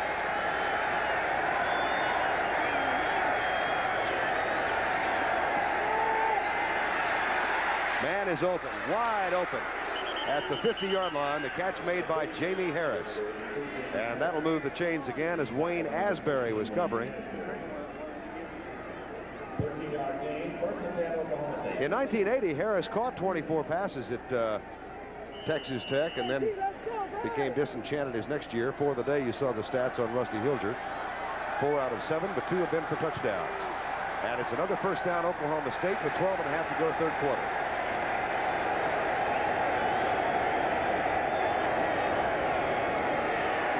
Jones for two. Scott Polk, number 87, makes the tackle. Texas A&M on first down situations in this drive are getting in an eight-man front with three deep secondary, trying to get just what they've got right now. Try to create a second down, long situation, and get a little bit more of a predetermined idea of what Oklahoma State's got to do. It'll either be the sweep play or they'll have to go throw the ball. They're trying to get a little bit of leverage, Texas A&M right now. Second and eight.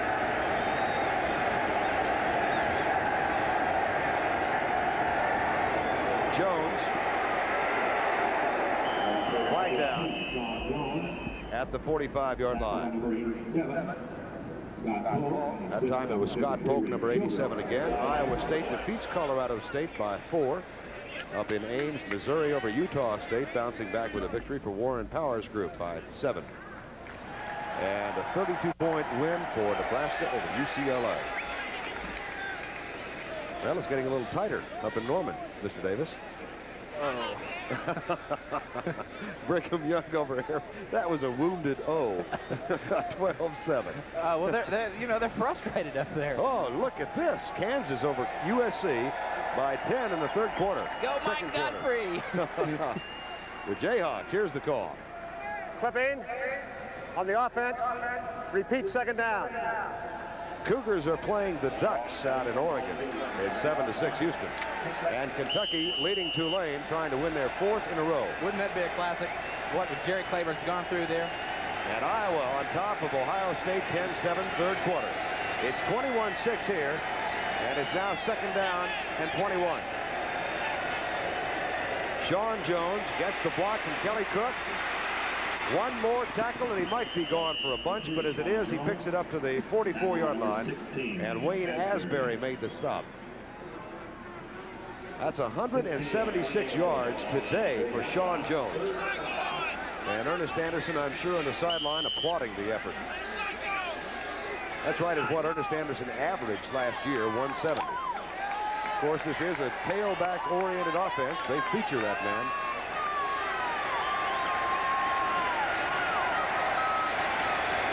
Third down, five.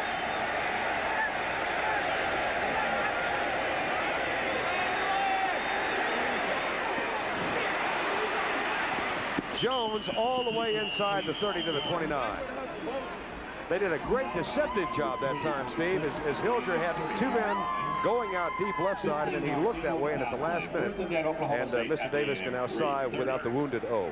Uh, yes, they won another one. Oh, my goodness. 28-18. Tulsa will be at Oklahoma State next week. Boy, I tell you, Oklahoma State took advantage. Somebody busted at Texas A&M because there was nobody near Sean Jones that time. Cowboys are driving on the Aggies in their lead 21-6. Sean Jones. Block from Kelly Cook. He's got 12 more. And a flag is down on the far side of the field that might wipe out that 12-yard game. Wayne Asbury made the tackle if it stands.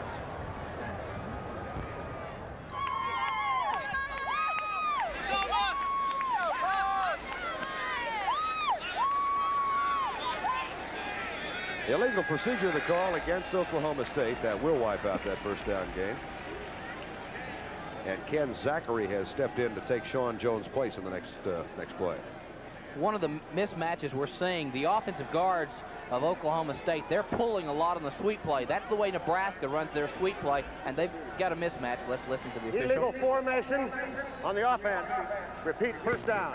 The mismatch of those big offensive guards of Oklahoma State against the smaller cornerbacks is why Oklahoma State's moving the ball down the field right now. A very impressive drive. Oklahoma State has six penalties for 55 yards. It's first and 15 at the Aggie 35-yard line.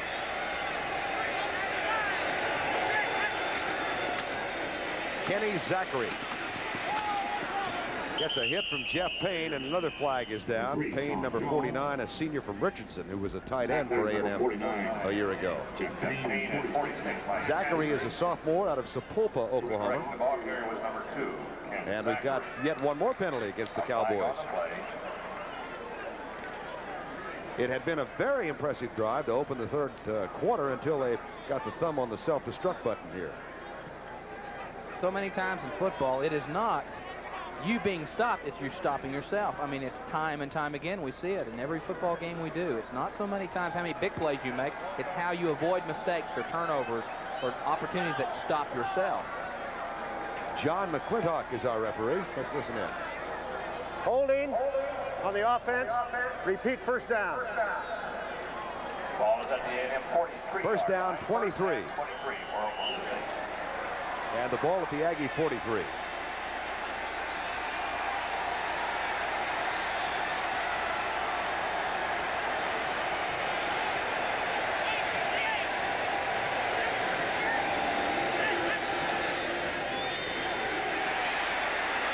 Hilger to Harris.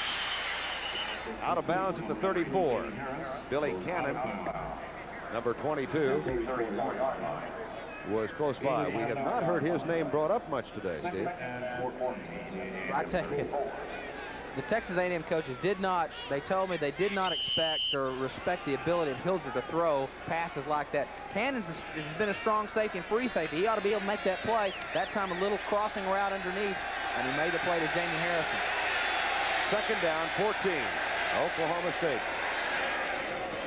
Harris again. To the 22, just two yards short of the first down. Tony Slayton, a sophomore from Decatur, Georgia, wearing number three, made the tackle. Let's watch the action of the guards. Igo, number 61, and Partita, number 60, uh, number 50. They're asked to do a lot of different things, to work on the pass, to make the transition when you're running the football and sweep, to dropping back and setting and being a patient blocker on the pass plays. To a lot of transition, and it's a pressure position to be in, and you've got the kind of offense Oklahoma State has. Malcolm Lewis, Jamie Harris go wide left. Third down, two.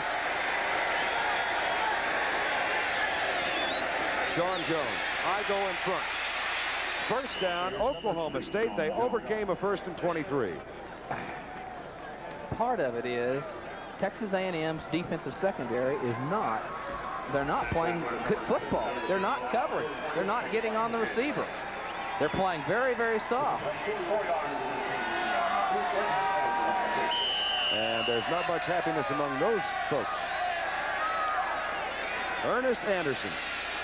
Just a day in the sun for him, but he wants to get back into action. He's from Texas and wanted to play in front of his family today. But perhaps next week.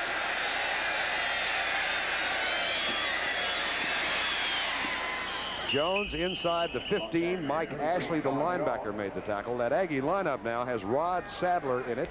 David Dowell, number 97, has come in at nose guard. Ray Childress, number 53. Jeff Payne, Jeff Fuller, Mike Ashley, and Billy Cannon, the linebackers. And the secondary, Daryl Austin, Tony Slayton, Domingo Bryant, and Wayne Asbury. They were worried about those cornerbacks giving run support, and they've not been able to do it. Second down, five. Oklahoma State has had the ball since the opening kickoff of the second half. Jones. Close for the first inside the 10. And Shawn Jones has a personal career best right now as he has rushed 26 times for 190 yards. He's not through. We've got eight minutes to go in the third quarter. 8.03 exactly remaining. one thing about Jimmy Johnson, I was in Stillwater on Thursday, and he talked about the things that you go through as a coach to turn around a program. He came to Oklahoma State, as we're looking at Shawn Jones, came to Oklahoma State. They were on probation the first two years he was there. Could not go to a bowl game, could not be on television turn things around. And he said, you've just got to go with what you've got. We've got to play power football, high percentage, and good defense. Let somebody else make the big plays and mistakes, and that's what they're doing today. First and goal, Oklahoma State, 7.50 to go in the third quarter.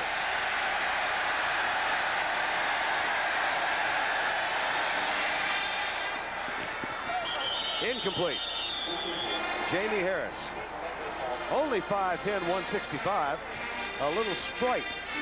Great speed. Elusive moves. Had the ball been just a little bit closer, I mean, he would have been a touchdown. I mean, again, Billy Brown, number 21, who gave up a big touchdown in the second in the first half. Watch this. Watch where the ball's got to be. If it's there, he's open. That's a touchdown. He's five yards away from him. That's not defensive secondary play. That was a touchdown. Had he caught the ball. Well, so much cushion. This will be the 15th play in this drive. Shawn Jones at about the four. Rod Sadler, Domingo Bryant make the tackle. Jones, who turned things around in the second quarter with an 80-yard touchdown dash that gave Oklahoma State a 7-6 lead, which they have not lost. And about, uh, about which they're going to increase here in a moment. Shawn Jones was a little overweight in 1982, but he's gotten in shape this year. Third down and goal. Double tight end set. Barry Hannah, John Chesley. Hilger looks for Harris, finds him incomplete. And Billy Brown was a little bit out of shape and out of position. Domingo Bryant had forced, and Hilger didn't have all the time he wanted to throw it. The important thing is what the drive has accomplished. There, as you look at the clock, 6.57. They've had the ball the entire third quarter thus far. They have kept the Texas A&M defense out on the field. The question will be how Texas A&M's offense is able to sustain a drive. Larry Roach, junior from Dallas. He got it. From 20 yards away. Larry Roach has helped increase the Oklahoma State lead, which is now 24 to 6.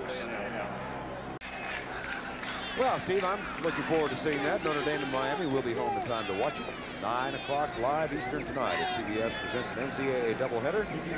Oklahoma State and A&M this afternoon, and then Notre Dame, Miami live at 9 o'clock. Seems like there's a lot of coaches in college football this year that have to kind of justify their existence and why they're at certain schools.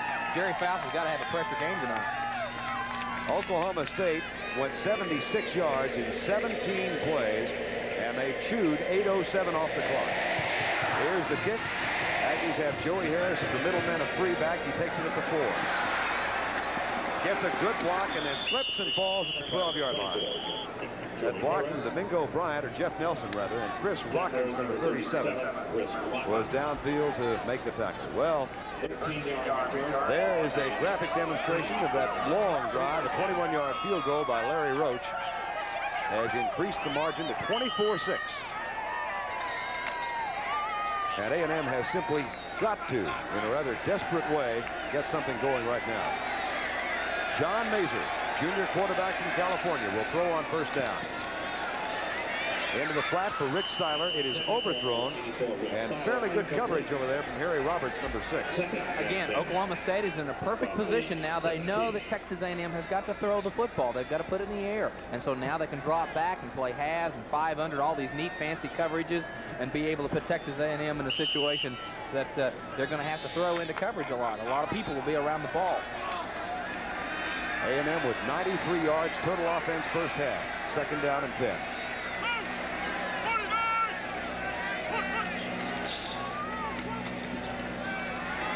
As a man open, Jimmy Teal, number 23, first down at the 31. James Ham, number 40. There's a young Oklahoma State player. How cute can you get, huh? Kansas leading Southern Cal 20 to 10 in the second quarter. And that is at Southern Cal. Kentucky trying to go 4-0 after a 0-10 in one year a year ago at Brigham Young leading Air Force by 13. Jimmy Hawkins has come into the lineup for the Aggies. They have a first down and 10 at the 31.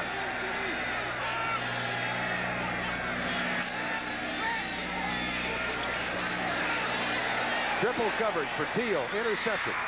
Picked off by Adam Hines, his second of the day, and he's got a lot of room to run it back to the 42-yard line.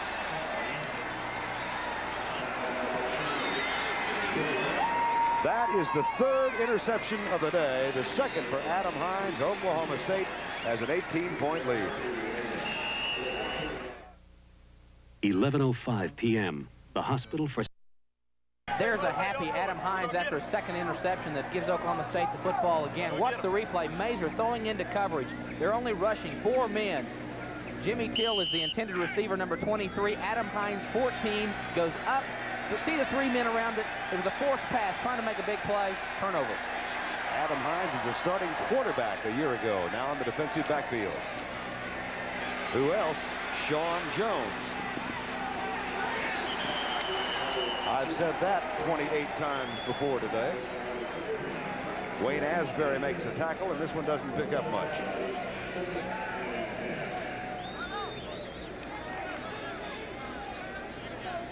It'll be second down and 10. Jones closing in on a 200-yard day, has 194 so far. Looks like a carbon copy of an Ernest Anderson afternoon. Second and 10. Oklahoma State leads at 24-6.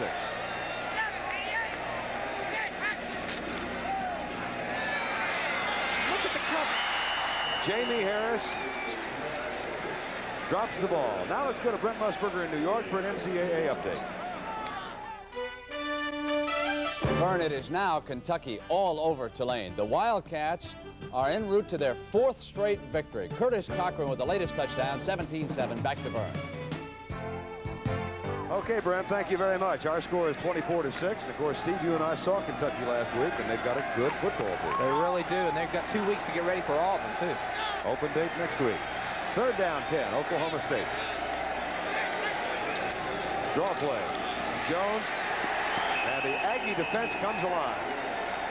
Well, I think if they had any hopes of getting back in this ball game, they had to stop Oklahoma State right then and there. Exactly. I, I really am so confused in the sense of the way Texas A&M is playing in the secondary. There's so much cushion. Maybe they're afraid to give up a big play. I know that's the point, but you better start taking a few chances when you're behind like they are right now. John Conway on to punt. He has previous kicks of 31, uh, a 30.5 average. Couldn't find it. Billy Cannon with a fair catch at the 11. Billy Cannon Jr. That's a 32-yard kick. So the Aggies get it back, but they need to light a fire. They trail by 18 with 5.19 to go in the third quarter. A lot of great names next Saturday at the U.S. Women's Indoor Tennis Championships. Billie Jean King, Carling Bassett, defending champion Barbara Potter, Sylvia Hanika, all competing for the national indoor title. Join us next Saturday at 4 o'clock Eastern for the singles final here on CBS. John Mazur, and the flags will kill the play before it gets uh, gets going.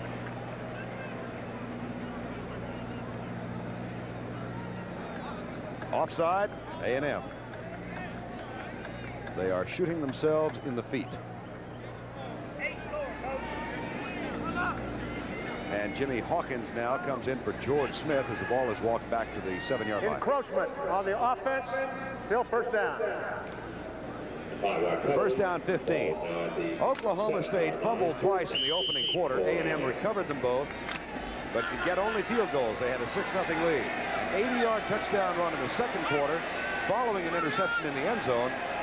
But Oklahoma State on top, and they have been on top since. 24-6 right now. Hand off to Hawkins for about one. He gets it out near the nine-yard line. Rodney Harding, number 42, and James Ham, number 40, make the tackle. Guy's got the best of both worlds. Conflict of interest. Second down and 13. 4.50 to go, third quarter.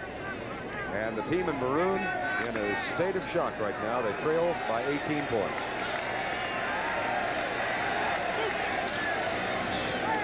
Mazur, nobody open. Great downfield coverage. Now he'll throw deep for Don Jones. And it's going to be knocked away by Chris Rockins, number 37. There was just a blanket in the secondary for Oklahoma State. Just as it is difficult when you're, say, a wishbone or an option team and you're married to the run, you, they crowd you if they shut you off and force you in, out of your environment to throw. Equally is it tough when you're in a behind, you got to throw the football, they can drop back and play pass. Oklahoma State, just like you said, had everybody covered. Third down, 13. Are you surprised, Verne? I really am. I really am. Jackie Sherrill was very surprised.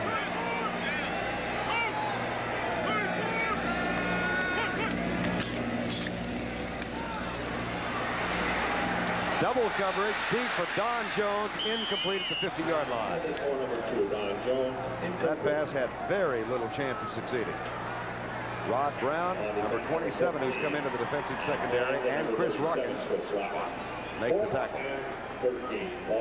And you can see the scoreboard, 4.28 to go third quarter. Now Kyle Stewart is seven yards back in the end zone and will have to kick it away. It's been a long day for John Mazur and his offensive troops. Line drive kick should be returned. Bobby Riley, the freshman wide receiver. A flag is down at the 43-yard line. There's John Mazur, who was a starting quarterback at Southern Cal, lost his job to Sean Salisbury, and decided to transfer, did. Came to A&M last year, sat out a year. This is his first competitive season in two years. And had a good start in the first two games. Played very well in the first game and not quite so well last week. But it has not gone well for him today.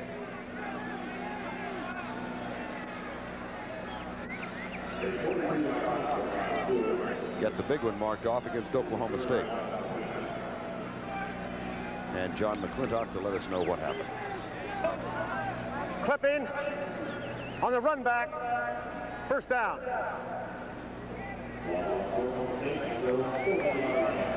So Oklahoma State gets the ball back, and they've got it at their own 40-yard line. 60 yards away with a 24 to 8 lead. 21 points by the Cowboys in the second quarter, three here in number three. Rusty Hilger under his center, David Tucker. Kenny Zachary and Rodney Hayes in the backfield now, two fresh backs. This is Zachary. And it's a quick eight. Hand off left, hand off right. He's going behind the strength of his offensive line then, and Kevin Igo, John Sigelski on the left side. A lot of people would like to just hand off left and right if you were ahead 24 to 6 with very little time left to go in the third quarter. I mean, it, it may not be the most exciting thing to watch, but I tell you, for Oklahoma State and to win, it is beautiful. What's exciting is 3 and 0, huh? That's right. That's what you want to do, win. Second and three. Mike Kilmer in the wide receiver. Here's Zachary. And he'll be, I think, just short of the first down as Scott Polk. See, in previous years, Jimmy Johnson being at Oklahoma State, they've, they've lost games that they should have won in their non-conference schedule. That has always hurt them. That's marked them off the potential bowl list early. They had to fight back. It didn't give them momentum or confidence. A, a victory today gives them such confidence they've never had in Johnson's years at Oklahoma State. Last year they were 4, 5, and 2. They played A&M in the Independence Bowl a few years back. And A&M won that one 33-16. That was in 81. Third and one. To the fullback. Rodney Hayes, a junior from Little Rock, Arkansas, number 30. First carry today, good for a first down. I know from a player's perspective, when you go out and play people, you've got to respect your opponent. There are some names in college football that you really respect, and Texas A&M is one of those names, and so they're coming out here. They can win the ball game as we look at the statistics. That's a shock. the confidence factor of beating a team you respect. Oklahoma State, this group's never done that. Jones is 6'1", 220. He's got a year left.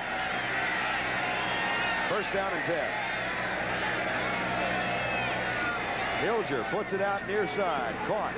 Jamie Harris, six catch today for the 5'10 junior from McKinney, Texas. And Jackie Sherrill distraught with the way things have gone. Kansas still leading Southern Cal, but they've shaved it to a seven-point deficit now in the second quarter. Iowa leading Ohio State, Kinnick Stadium in Iowa City. Brigham Young over Air Force by six in the third quarter. Tony Weimer has come in, number 22. He and Malcolm Lewis are the wide receivers right now. So a fresh set of skill position people. First down and 10. Jones. Down to the 30-yard line, and Ray Childress made the tackle, number 53. They're just hammering away and working on the clock. Just hammering away, and then when they get in a, a passing situation, they just throw because there's so much cushion there, and they're completing the passes. Jones four yards away from 200 yards for the day. He's carried it 30 times and looks fresh. Second down, eight.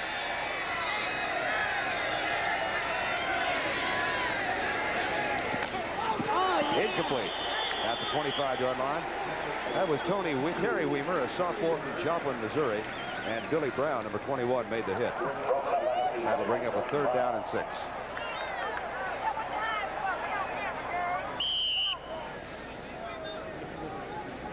Rusty Hilger, 6'4", 205, junior from Oklahoma City.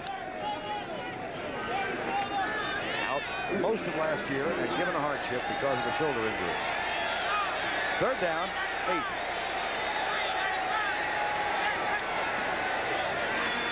Whoops, flag is down.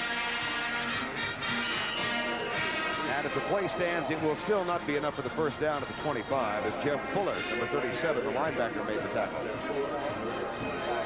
But a flag on the near side of the field, holding Oklahoma State.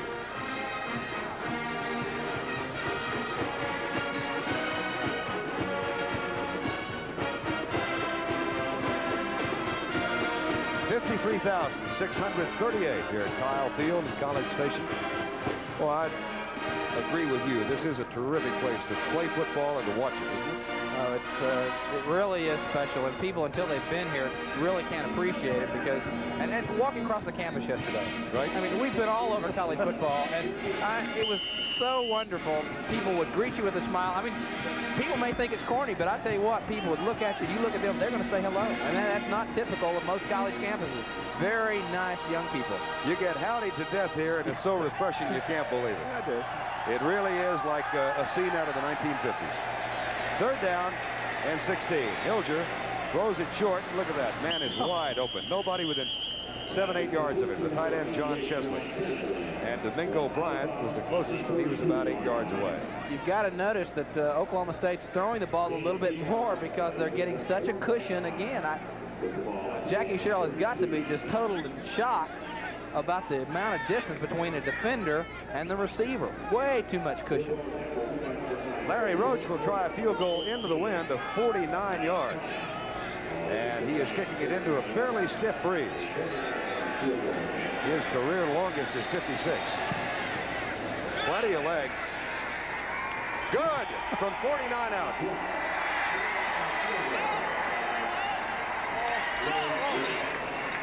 One oh one to go in the third quarter. The Cowboys of Oklahoma State have increased their lead. It now stands at 21. Chevy Tough is taking charge with a big USA 1 truck sell-a-thon. We're out to sell 75,000 trucks by October 1st with 200,000 trucks from coast to coast. This is dealing time. And year-end allowances on 83s can mean great clearance prices. Get specially equipped Chevy S10 pickups and maxi cabs with V6... College Station, Texas, CBS and NCAA football for the second year in succession. Glad to have all of you with us. Verne Lundquist and Steve Davis at Oklahoma State routing Texas A&M 27 to 6 right now. Kevin Godfrey will kick it deep to a trio of uh, potential return men, Tony Slayton, Joey Harris, and Jeff Nelson. Perhaps the best tradition here is that the uh, Aggies get to kiss their girlfriends every time they score. And they've only scored six points today. You wouldn't get a whole lot of sugar today. Great downfield coverage, and another flag is down at the 10-yard line. number six, Harry Roberts, and number 10, Mike Pinson. So we'll uh, try and wait to see what happens I asked Jimmy Johnson on Thursday what he's most proud about the Oklahoma State program. And you, you think a lot of different answers come back. He said, but first of all, he said, I'm glad of the attitude change here at Oklahoma State. I'm glad that we're graduating a high percentage of our players. And he said a lot of players are staying around to complete their athletic career at Oklahoma State. He went from Port Arthur to Arkansas, where he helped Frank Broyles and that great Arkansas team in the mid-60s win a national championship. That's Jimmy Johnson. Now John Mazur heads into the Aggie huddle with 56 seconds to go in the third quarter, and Oklahoma State on top 27 to 6. That last scoring drive, 51 yards. Time of possession now 26 minutes for Oklahoma State to only 17 minutes for A&M. And we've got the final 56 seconds of the third quarter. First down 10. Aggies at the six. Mazur to throw from the end zone. That's batted down behind the line by the nose guard, John Washington, number 80. Got a fist up and hit it.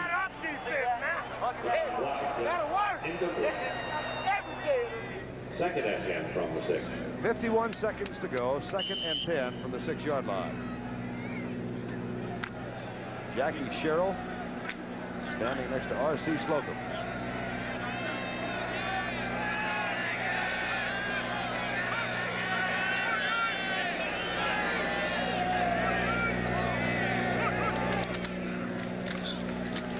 Rod Bernstein to the 16-yard line. Ken Reeves led the way, the big guard, number 57. And Leslie O'Neal and Harry Roberts finally made the tackle, and that's uh, one of Bernstein's better efforts today. Number 29 from Bryan High School. Did not start the first game, didn't play, and then led all rushers last week with 76 yards. Most of the inconsistencies that Texas A&M have had during the day have been basically results of the Oklahoma State opportunistic defense. They have just played very smart, and they've, they've given a little bit on first downs at times, and been able, been able to make the big play. 16, first and 10. Mazur had been hitting 55% of his passes coming in. He had not been intercepted, nor had he been sacked. He has been picked off three times today and been knocked down behind the line twice. It is an aggressive Oklahoma State Cowboy defense. First down 10, though, for Texas A&M.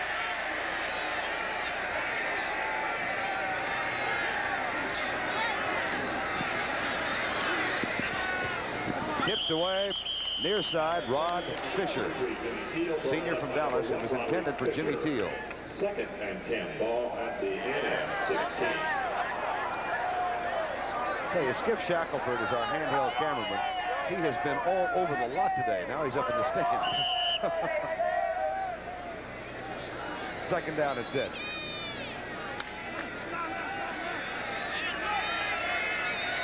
With 24 seconds to go, third quarter. Second and 10. George Smith. Fumble. A&M gets it back. And that should be the final play of the third quarter. Tackle was by number 40, James Ham. Smith will yards. That ball is at the leave the ball game now with uh, an apparent injury. And Jimmy Hawkins hurries in, or Bernstein rather, number 29. So this will be the final play of quarter number three with Oklahoma State leading 27 to 6. That's the end of the third quarter. Our score, Oklahoma State 27, A&M 6. Oklahoma State, Texas A&M is an exclusive presentation of CBS Sports. We'll be back with fourth quarter action after this message and a word from your local station.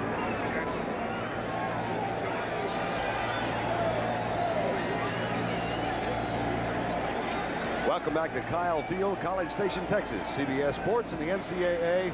Oklahoma State leading Texas A&M 27 to 6. Verne Lundquist along with Steve Davis. An early quick start by the Aggies in which they recovered a couple of uh, fumbles from Oklahoma State. Got two field goals out of Alan Smith but could not push it in. And then an Adam Hines interception of John Mazur in the end zone as A&M was about to score its first touchdown of the day. Seemed to turn the tone of things and it's been all Oklahoma State since. Mazur has been intercepted three times. Going deep for his tight end, but Seiler incomplete, and a flag is down. We may have a pushing call on Harry Roberts, number six.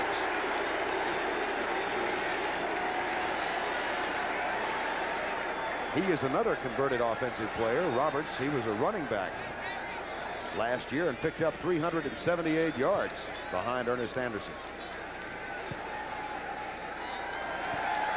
It is indeed pass interference on Roberts, number six. Let's see if we can find Harry Roberts, number six. Let's see where, right there, there he is, breaking on the receiver, going through.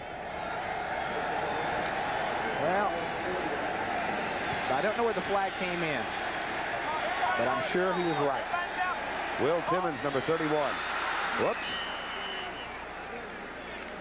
John Mazur fell on the ball, and that one did not work.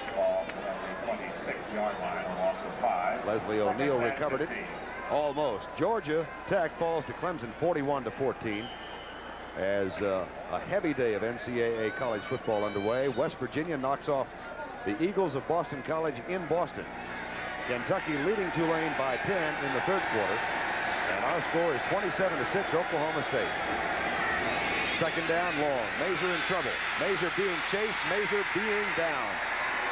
Number 40, number 99, Leslie O'Neal, sophomore, Little Rock, Arkansas. Third sack today.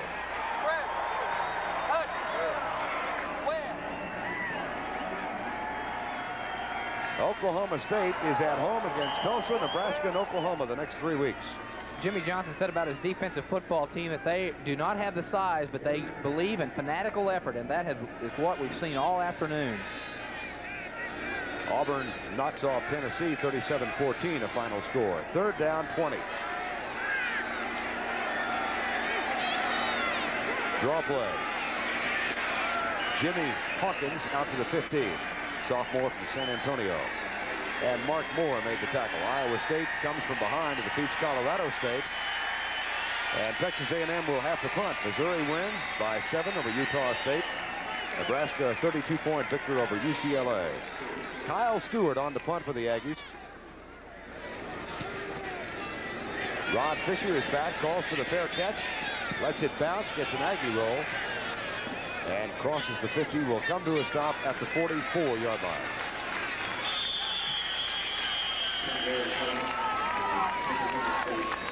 That's a 41-yard punt for Kyle Stewart, but that is not what A&M needs. They need the football. Back live at Kyle Field in College Station, 27 to 6, Oklahoma State over A&M.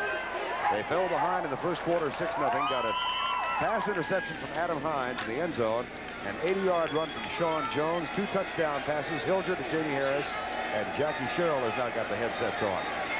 First down and 10. Backs are in the eye behind Rusty Hilger. Shawn Jones, that'll put him close to 200 for the day. He's out to the 46-yard line.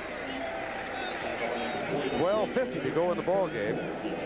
Do you think it's fair to say because Jackie Sherrill, when he left Pitt, that there was so much pressure, the contract discussions, the high dollar figures. I mean, people have got to be realistic. I mean, they've only had eight winning seasons since 1960, and yet uh, it's been frustrating. Well, I think one reason, though, because of the criticism, is that Tom Wilson was fired after a winning season. That's right. And they went after Jackie Sherrill, and of course he had done such a marvelous job at Pitt. They did expect instant national championship. Second down. Jones will, or rather, Kenny Zachary runs into the arms of Keith Guthrie, number 74. Guthrie is a senior now playing at nose guard who was a three-year starter here, but has disappeared off the depth chart and has been a disappointment to the defensive staff. Billy Cannon, Greg Berry, number 48, Cannon, number 22, Darrell Austin, number one, Jeff Payne, number 49, is a former tight end. And there's Childress, Ray Childress, number 53. Had another gutsy day today. 11.45 to go in the ball game. Third down, 10, or third down, 7. Give it off up the middle to Rodney Hayes. And he runs into Jerry Bullet. It'll be fourth down, and John Conway comes on to punt.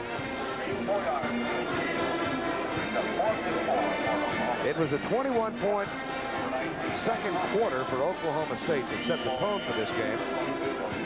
Jamie Harris, the kid you just saw, number 83, caught two touchdown passes, and Shawn Jones had an 80-yard run in that quarter. Here's the snap back for Conway. Billy Cannon waits to return it. It'll go into the end zone.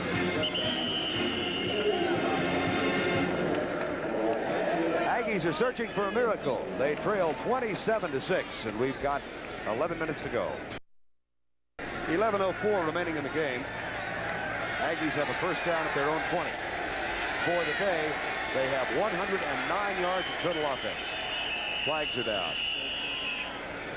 50 yards on the ground, 59 through the air, and Oklahoma State has 373 yards, including 234 on the ground. And we've got an offside or encroachment call now against Texas A&M. Oklahoma defeats Tulsa by 10. That's a Encroachment That's an, Get the offense.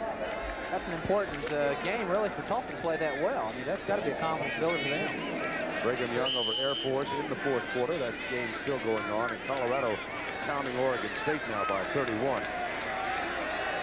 First down 15. John Mazur is 7 of 18. Man-for-man coverage. There's a bump and a flag and a pass interference call at the 50-yard line.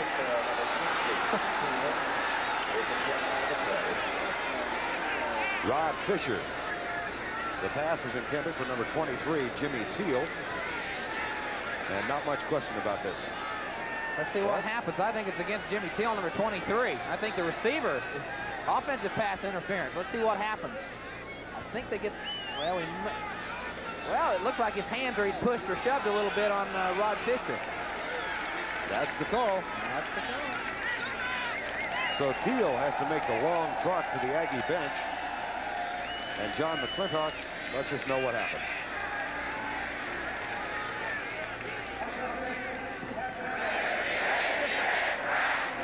And loss of down. Loss of down, half the distance. And it'll be second down and 25.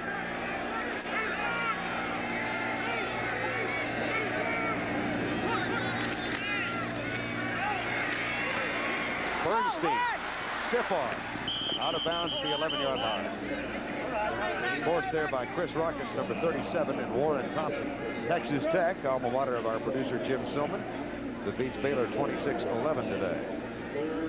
And Houston leading Oregon by 8, 14 to 6. Kansas still leading Southern Cal. They're at the half right now. And that would be a huge upset. Of course, in the conference tonight, North Texas will be at Texas. Rice is at home against Southwest Louisiana. The conference game, the key one, Bobby Collins SMU Mustangs over in Fort Worth against Jim Wacker and the TCU Horned Frogs. Mazur bumps into his own man, tries to scramble and can't, and is knocked down at the 12.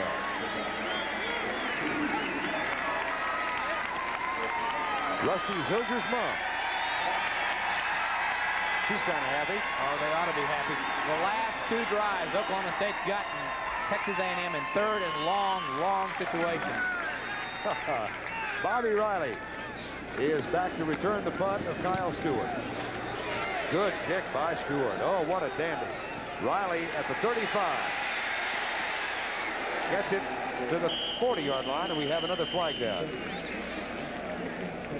Greg Shepard made the tackle. A 50-yard kick and three on the return. Let's see against whom the infraction is called.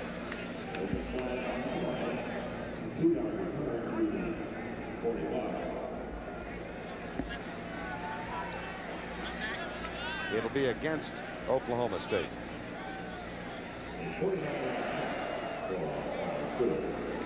And it's a big one.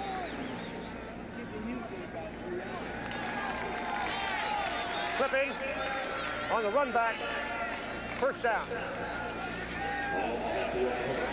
10 minutes, 11 seconds to go in the ball game. 27 to 6, Oklahoma State. And they are back on offense. So we'll be back here at Kyle Field and College Station in just a moment.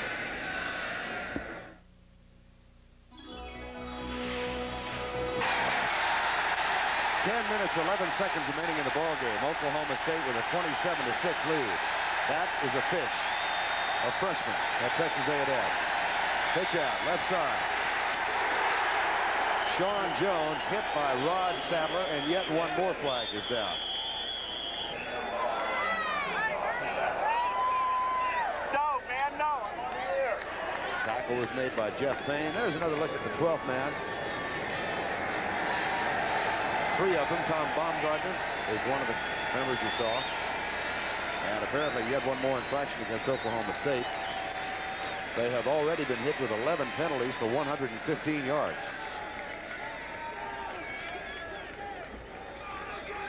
And we're going to get another. To the 15-yard line, here's the call. Holding on the offense. Still first down. Make it first down 19. Of Oklahoma State, they lead 27 to 6. They led 21 6 at the half.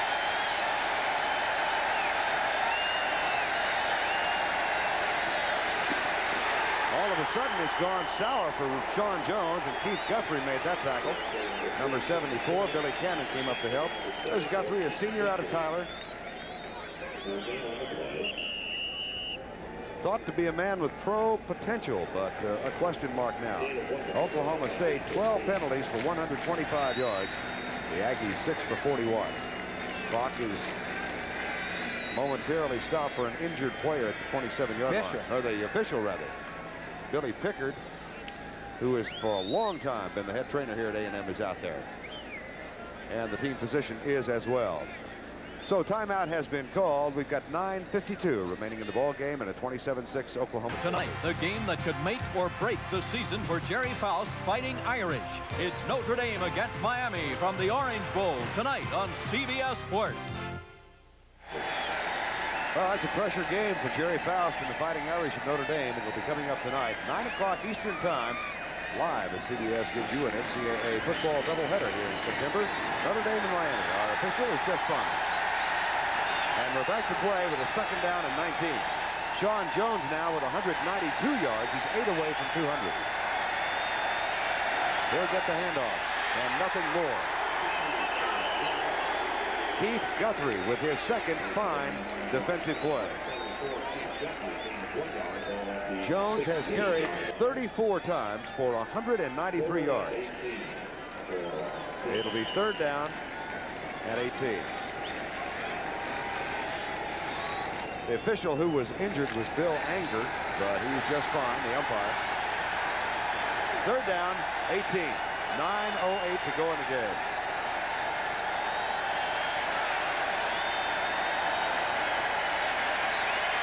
Jones for the 19. His 35th carry today. It'll be a punting situation. Oklahoma State's playing very smart football, third down and long, just decided to play it safe, don't put it in the air, don't make mistakes. Steve, you've, you've lived in Oklahoma all of your life. You've followed this program. How big is this victory for them? Oh, I think it's an extremely big, big victory. If it's anything more than just a confidence builder, it means that much for Oklahoma State. Be 3-0. John Conway with the win. Billy Cannon at the 31. Special teams are getting into the act as well. Good coverage. 49-yard kick, five on the return, and a hang time of 4.2. Mike Hudson downfield to make the tackle of Billy Cannon. Tomorrow, many of you will see an NFL doubleheader on CBS Sports. The early game will be the New Orleans Saints against the Dallas Cowboys, a team the Saints have beaten only once since their inception in 67.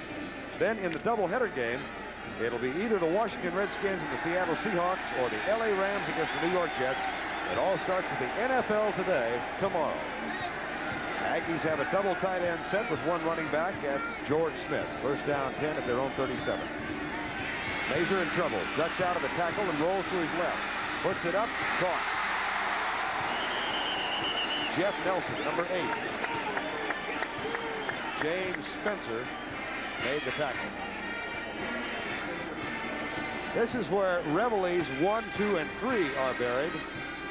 That is at the north end of the end zone, and they are buried in such a fashion that supposedly, according to legend, they can always see the scoreboard here at Kyle Field. Reveille 1 was a, a wild collie that was discovered by members of the Cadet Corps in 31, 1931. And we're currently on Reveille 4. Here's Smith, double teamed and down at the 42. Harry Roberts, number six, and James Spencer, 85, made the tackle. And Smith is going to come out with that uh, nagging injury again.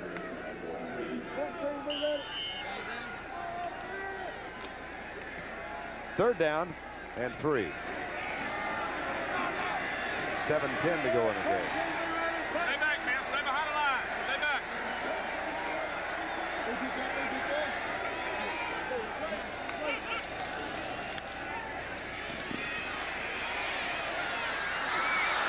Tipped and incomplete. Intended for Jimmy Williams, number 88, the wide receiver. Harry Roberts, running back a year ago. was back to uh, receive it. Third down conversions have been a disaster for Texas A&M so far today. They are currently one out of 13 on third down conversions. They have just had a tough day today. Kyle Stewart, the punt. Bobby Riley to return it from the 11. Fumble. Aggies recovered. Daryl Smith has it, number 39.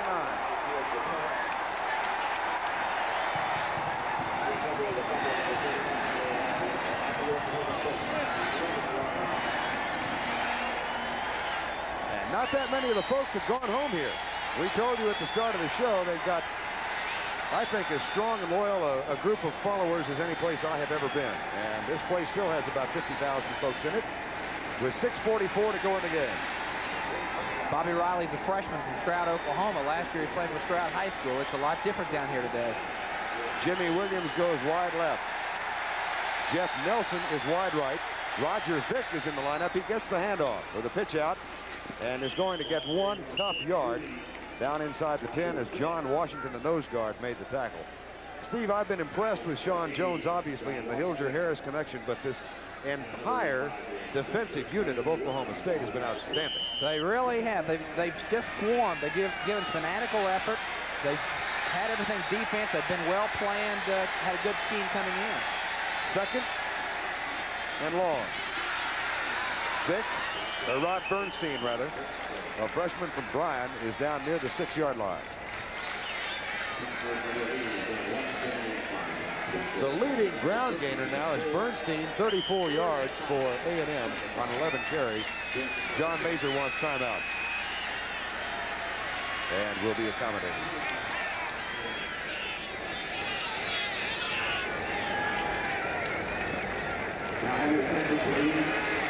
Thirty-eight-year-old Jackie Sherrill, one of Bears boys, played eight different positions for the University of Alabama football team before he graduated in 1966. He's not going to invite us back, Davis. Last year it was Texas Tech knocking off his team here. Up in Austin, uh, Dallas a year ago, we televised SMU's win over A&M. Winningest active coaches, guy you know, Barry Switzer, Paterno Osborne, and then Jackie Sherrill. But he's only six and seven here at Texas A&M. Overall, 59 wins, 24 losses, and one tie. And for Jimmy Johnson, one of the bigger wins, I should think, in his five-year career outside of the conference. Has to be. There's just no doubt. They, they played a lot of teams that they just did not respect, and rather than win what they were the games they were supposed to win, they lost them. And it's always been a problem going into the Big Eight schedule, and that's why this game is so important. Third down, five. Almost intercepted. Rod Brown, a junior from Gainesville, Texas. Almost had the fourth interception of the day. And now on fourth down and five, they're going to send Alan Smith on. I think they're going for stats now because three points don't do him a whit of good. Son, I hear some boos in front of us. I'm not at all sure why they're kicking a field goal. I don't understand it either. 27 to 6. But Alan Smith will try it from the 12-yard line. So again, the Aggies unable to get in the end zone.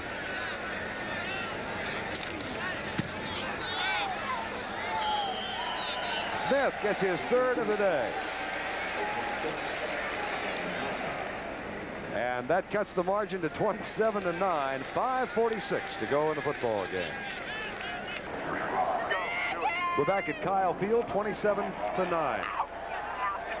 And there's a prospective Aggie football player a few years down. A&M has had to settle for three field goals today, each of them following a fumble recovery. They have been unable to put together anything resembling a drive of consequence. Harry Robs, Roberts and Bobby Riley are expecting the onside kick. They are at the 20-yard line. Alan Smith has the 12th man out there. Here's the onside kick. Scramble for it at the 35. And Oklahoma State has come up with it.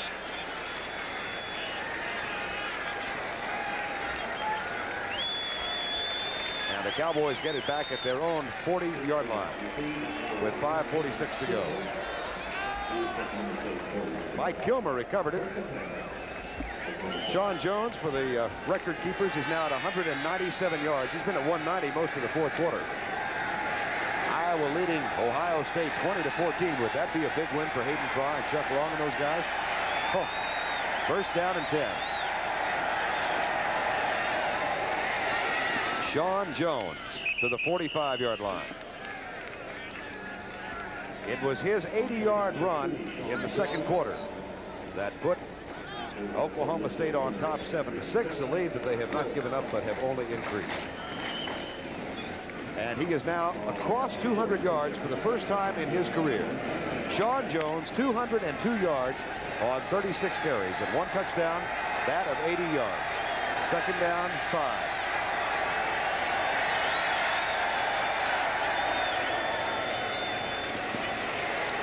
Jones to the 48, fumble. Aggies have it.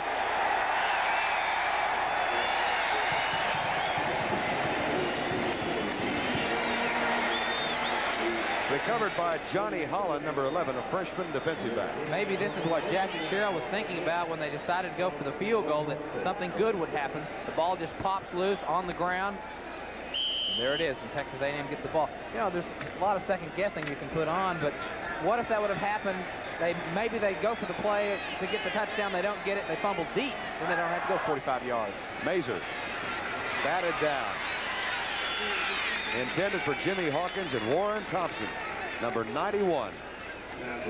Got a big paw up and knocked it away. Turnovers are even at four and four.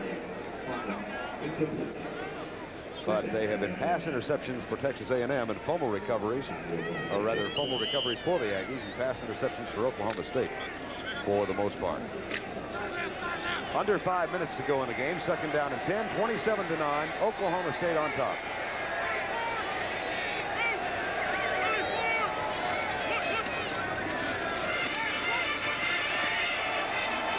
Rich Seiler, the big tight end, at the 41. That'll make it third down at about five. Third and four. James Ham, number 40, made the tackle.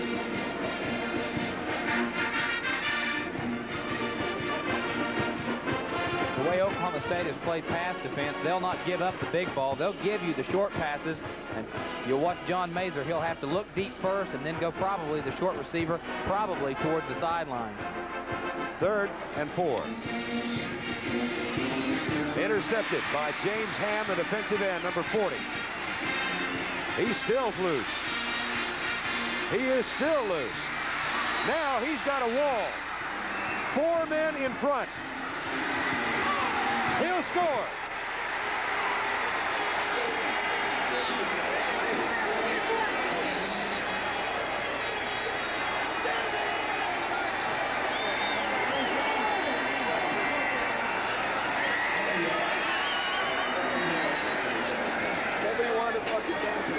He is a sophomore from Merritt Island, Florida.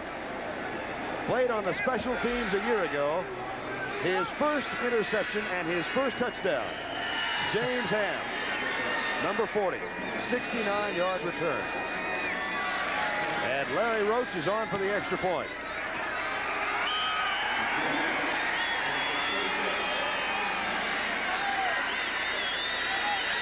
Thirty-four to nine. Oklahoma State has it wrapped up.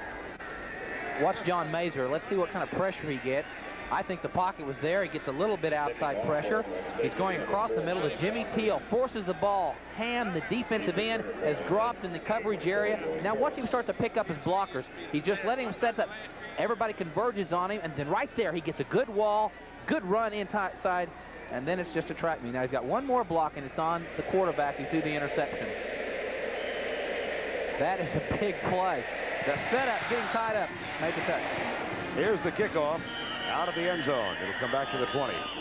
And we might see a new quarterback now for Texas A&M. Kevin Murray, freshman from Dallas, who was the uh, subject of a much publicized lawsuit. There's a good look at James Ham with Malcolm Lewis, number eight, right in front of him.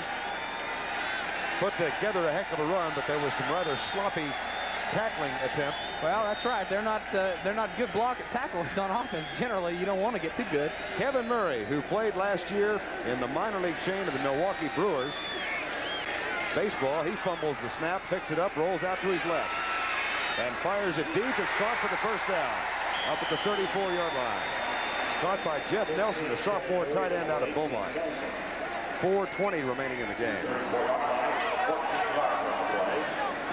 Kevin Murray played one year for Pikeville, Kentucky in the Brewers chain, hit 178 as a center fielder and decided he didn't want to play baseball anymore. He had signed a letter of intent here two years ago, came here, and the Brewers filed a lawsuit demanding that he not be allowed to play football or return his $35,000 bonus. It's still in the courts, but uh, so far he's under injunction to be allowed to play. Going deep, caught by Jeff Nelson at the 33-yard line. Rod Brown made the tackle, number 27. Let's see what the quarterback's looking at. He's going to be uh, going right now to Jeff Nelson, number number eight. Rod Brown, 27, will be there, crossing route, a deep crossing route. The ball's behind. Good defensive effort. Just over missed him, overshot him, and then Nelson's able to make the yardage. Good effort by the receiver. Kevin Murray, two for two, first down 10 at the 33. Three for three. Rich Seiler to the 21-yard line, 22. That is Seiler's fourth catch today. Murray is three for three. A flag is down in the offensive backfield. What you're getting now, the Oklahoma State defense is really dropping back. Linebackers, they're going to Seiler, the tight end, underneath the linebackers. See, there's an open area right there. There's your two linebackers, and that's why Seiler makes the catch. But I think we can forget about it. Well, it was a good replay anyway. but the you, point, did, you did very well. Uh, thank you. But the thing is, the linebackers dropped so far back, and he's just going to the underneath, and they're giving it 15 yards. They'll walk it back the other direction, however and put the ball down at the 38-yard line. Here's the call from John McClintock. Illegal use of hands on the offense. It is still first down. Ball has been marked back only five yards. Illegal use of hands. First and 15. Across the middle, Nelson. Touchdown! Finally, the Aggies get to kiss their dates. 38 yards.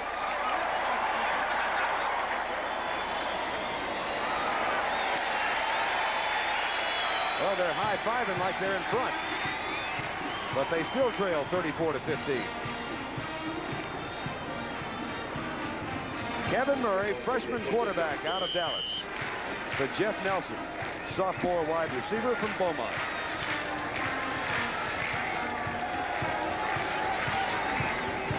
They'll go for two.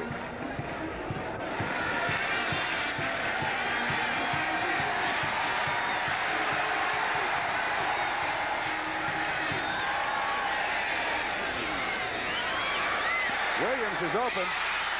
Incomplete. Intended for Jimmy Williams. He made the catch, but a yard short. Stanley Blair, number 20, doing the defensive work. So now the 12th man comes on in anticipation of the onside kick. This time, they're going beyond the linebackers. The linebackers will drop about 12, 15 yards, but they're going to go right behind. They're, oh, the ball's over, right over. There's Nelson that catches the pass, and the two deep backs, Nelson was able to get right between them and the touchdown. That isn't going to be enough. 34 to 15. And Alan Smith is getting ready for the onside attempt. Of course, coming up tonight at 9 o'clock Eastern Time, 8 o'clock Central, Notre Dame versus Miami. And Notre Dame trying to shake off the effects of an upset loss to Michigan State last week. Miami has won two out of their three. And among the victories was a decisive win over Houston. Live at 9 o'clock Eastern Time tonight over most of these CBS stations. Harry Roberts and Bobby Riley wait for the expected onside kick.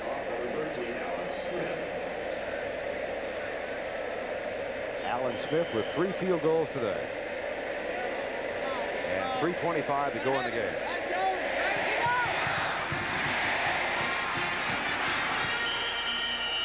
Oklahoma State retains it. Mike Kilmer again, number 89, second time on the onside attempt he has made the catch.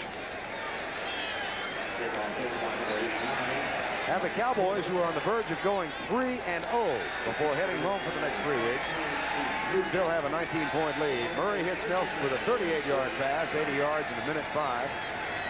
Oklahoma State has the ball at their own 45-yard line. And a new quarterback, Mike Jackson, number seven, a junior from Fort Smith, Arkansas.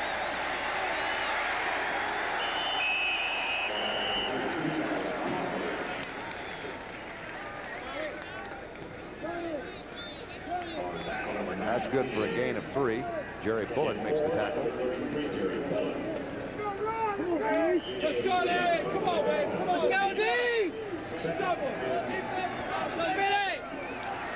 We're in a state of panic here because we don't have a number 32 on the roster.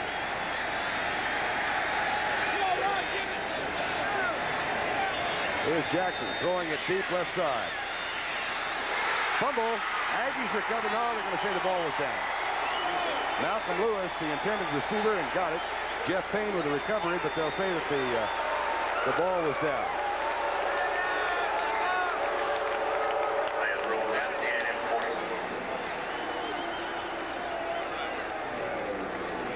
So Oklahoma State still has it at the Aggie 41-yard line.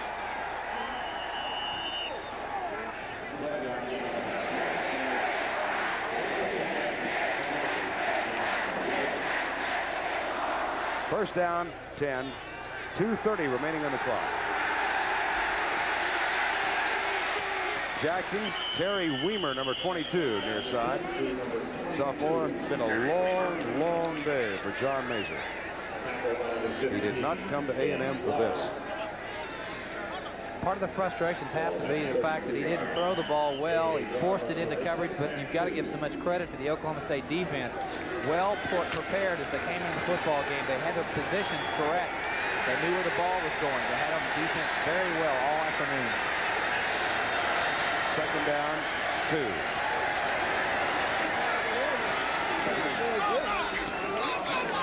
Up it goes, another fumble. And to say the ball was down.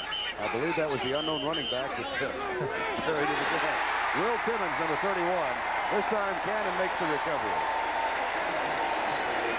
The running back in question is Chuck Crawford, Charles Crawford, number 32. Took us a long time to find him anywhere because he's not listed on the Oklahoma State squad list that they gave us, but he is on their rooming list. Iowa has defeated Ohio State 20 to 14. What a great win for Hayden Fry. Would it be fair to say that Iowa has returned uh, to the elite there in the Big Ten? Oh, boy. 2020, USC has fought back now. And there's a whistle before the snap is made. Gosh, that's a big win for them. Oh, it is. Of course, you and I saw Iowa in the Peach Bowl last year, and they had a lot of folks coming back and a pretty good football team then. Well, they felt like that, you know, that you have to take it when you're building programs. You got to take it in little, little short, choppy steps.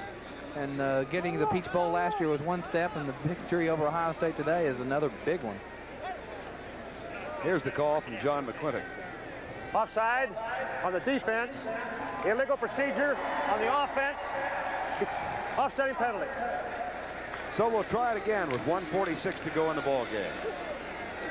34-15, Oklahoma State leads it. They fell behind 6-0, scored 21 points in the second quarter, and have not been headed since. They had a 21-6 lead at the half.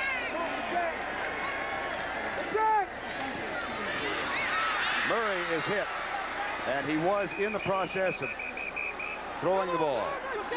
That is an inadvertent flag that just popped out of the official's uniform. Incomplete pass. Stops the clock with a minute 40 to go. Boy, as you review the football game, you wonder what happened to Texas A&M. And all I can really assess is that just like they came out trying to do something they were not comfortable with, run the football. They didn't go to their passing game. They didn't go to what had been uh, very effective for them in their first two games. And they could not get it in after those two fumble recoveries. and the 80-yard sprint by Shawn Jones really rocked them. Here's Murray. Oh, he's an athlete, isn't he? Incomplete. Jimmy Teal at the 48-yard line. And that again stops the clock with 132 to go. Chris Rockins, number 37, was down there defending. Rockins is a senior from Sherman, Texas, and has been a starter for 37 consecutive games. But not always at the same position. Uh, Kevin Murray is uh, three out of five for 85 yards. Third down, 10. Tipped away. Flag is down. I would say that was a little faster than here. James Spencer over the over the back of Rich Seiler. he was a little excited. Oregon has come from behind and uh, leads Houston now 15 to 14. I mentioned most of the Southwest Conference teams that are playing. Colorado defeats Oregon State 38 to 7. Arkansas is at Ole Miss tonight. Of course, we mentioned the SMU TCU game and North Texas and Texas in Austin this evening. Automatic first down. Murray being chased.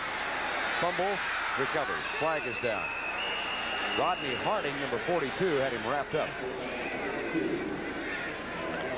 This may be the world's longest fourth quarter. Holding pen penalty that time as he was forced out of the pocket. You can just see a lineman. One of the Oklahoma State defenders gets away from him, and so he tries to take advantage and grab on him a little bit, hold him back, trying to get a chance. What a long, what a long day. Oh. Especially so for the guys in the maroon jerseys and the coaching staff and their fans. Here's a call. Decline. Penalty is declined, the holding call. So that'll make it second down and 17. Do you think Reveille one even wants to look at the I scoreboard? don't, I don't think so. There'll be better moments for Jackie Sherrill. Second and 17. Draw play. Jimmy Hawkins. He's close for a first down up at the 46-yard line. Chris Rockins made the tackle. Aggies want to go without the huddle. They're ready. They may decide to kill the clock for the measurement. Timeout for a measurement.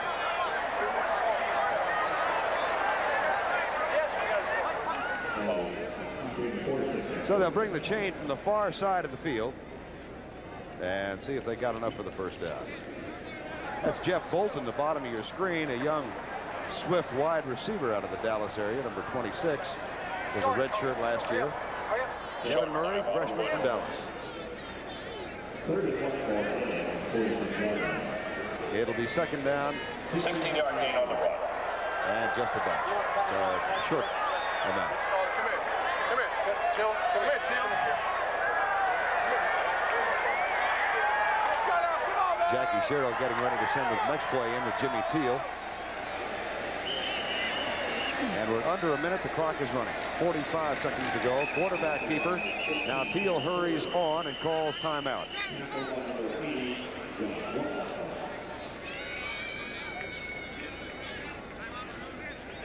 So the Aggies have called timeout. They trail 34-15. 45 seconds remaining in the game.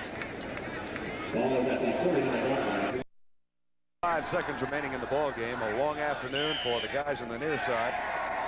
They led 6-0 and were in control. We're going in to score their first touchdown. Adam Hines intercepted a pass, and then it began to turn around. Here's Murray in deep and serious trouble. Down at the 30-yard line. A three-man rush. They've got all their people in, and he's caught behind the line. So Kevin Murray comes to the near side. That is a loss from the 49 all the way back to the 32. And it's been a bright day in the sunlight for Jimmy Johnson. We've got 35 seconds remaining. Back in just a moment. 35 seconds remaining in the ball game. Second down and 27, a 17-yard loss in the last play. Murray with his back split, Jimmy Hawkins and Rod Bernstein. Three wide receivers in the lineup. This is a four-man rush by Oklahoma State this time. Murray in trouble. Will be hauled down by John Washington at the 26-yard line. And the clock still running with 23 seconds to go. Well, it really is a very significant victory for Jimmy Johnson and Oklahoma State. It gives them confidence, momentum. It keeps them on the bowl list. It gives them an encouragement to go into the uh, tough schedule they've got coming when they go back home to Stillwater. Final nine seconds of the ball game. Murray, near side. That'll stop the clock with three seconds to go.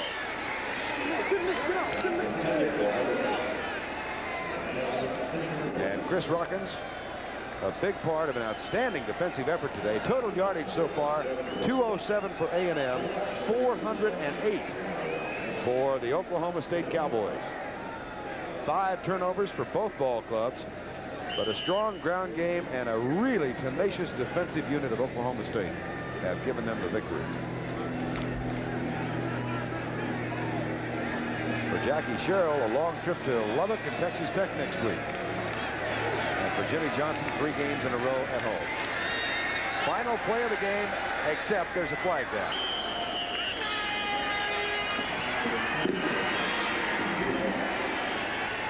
Oklahoma State, Texas A&M is an exclusive presentation of CBS Sports. We'll return after this word from your local station.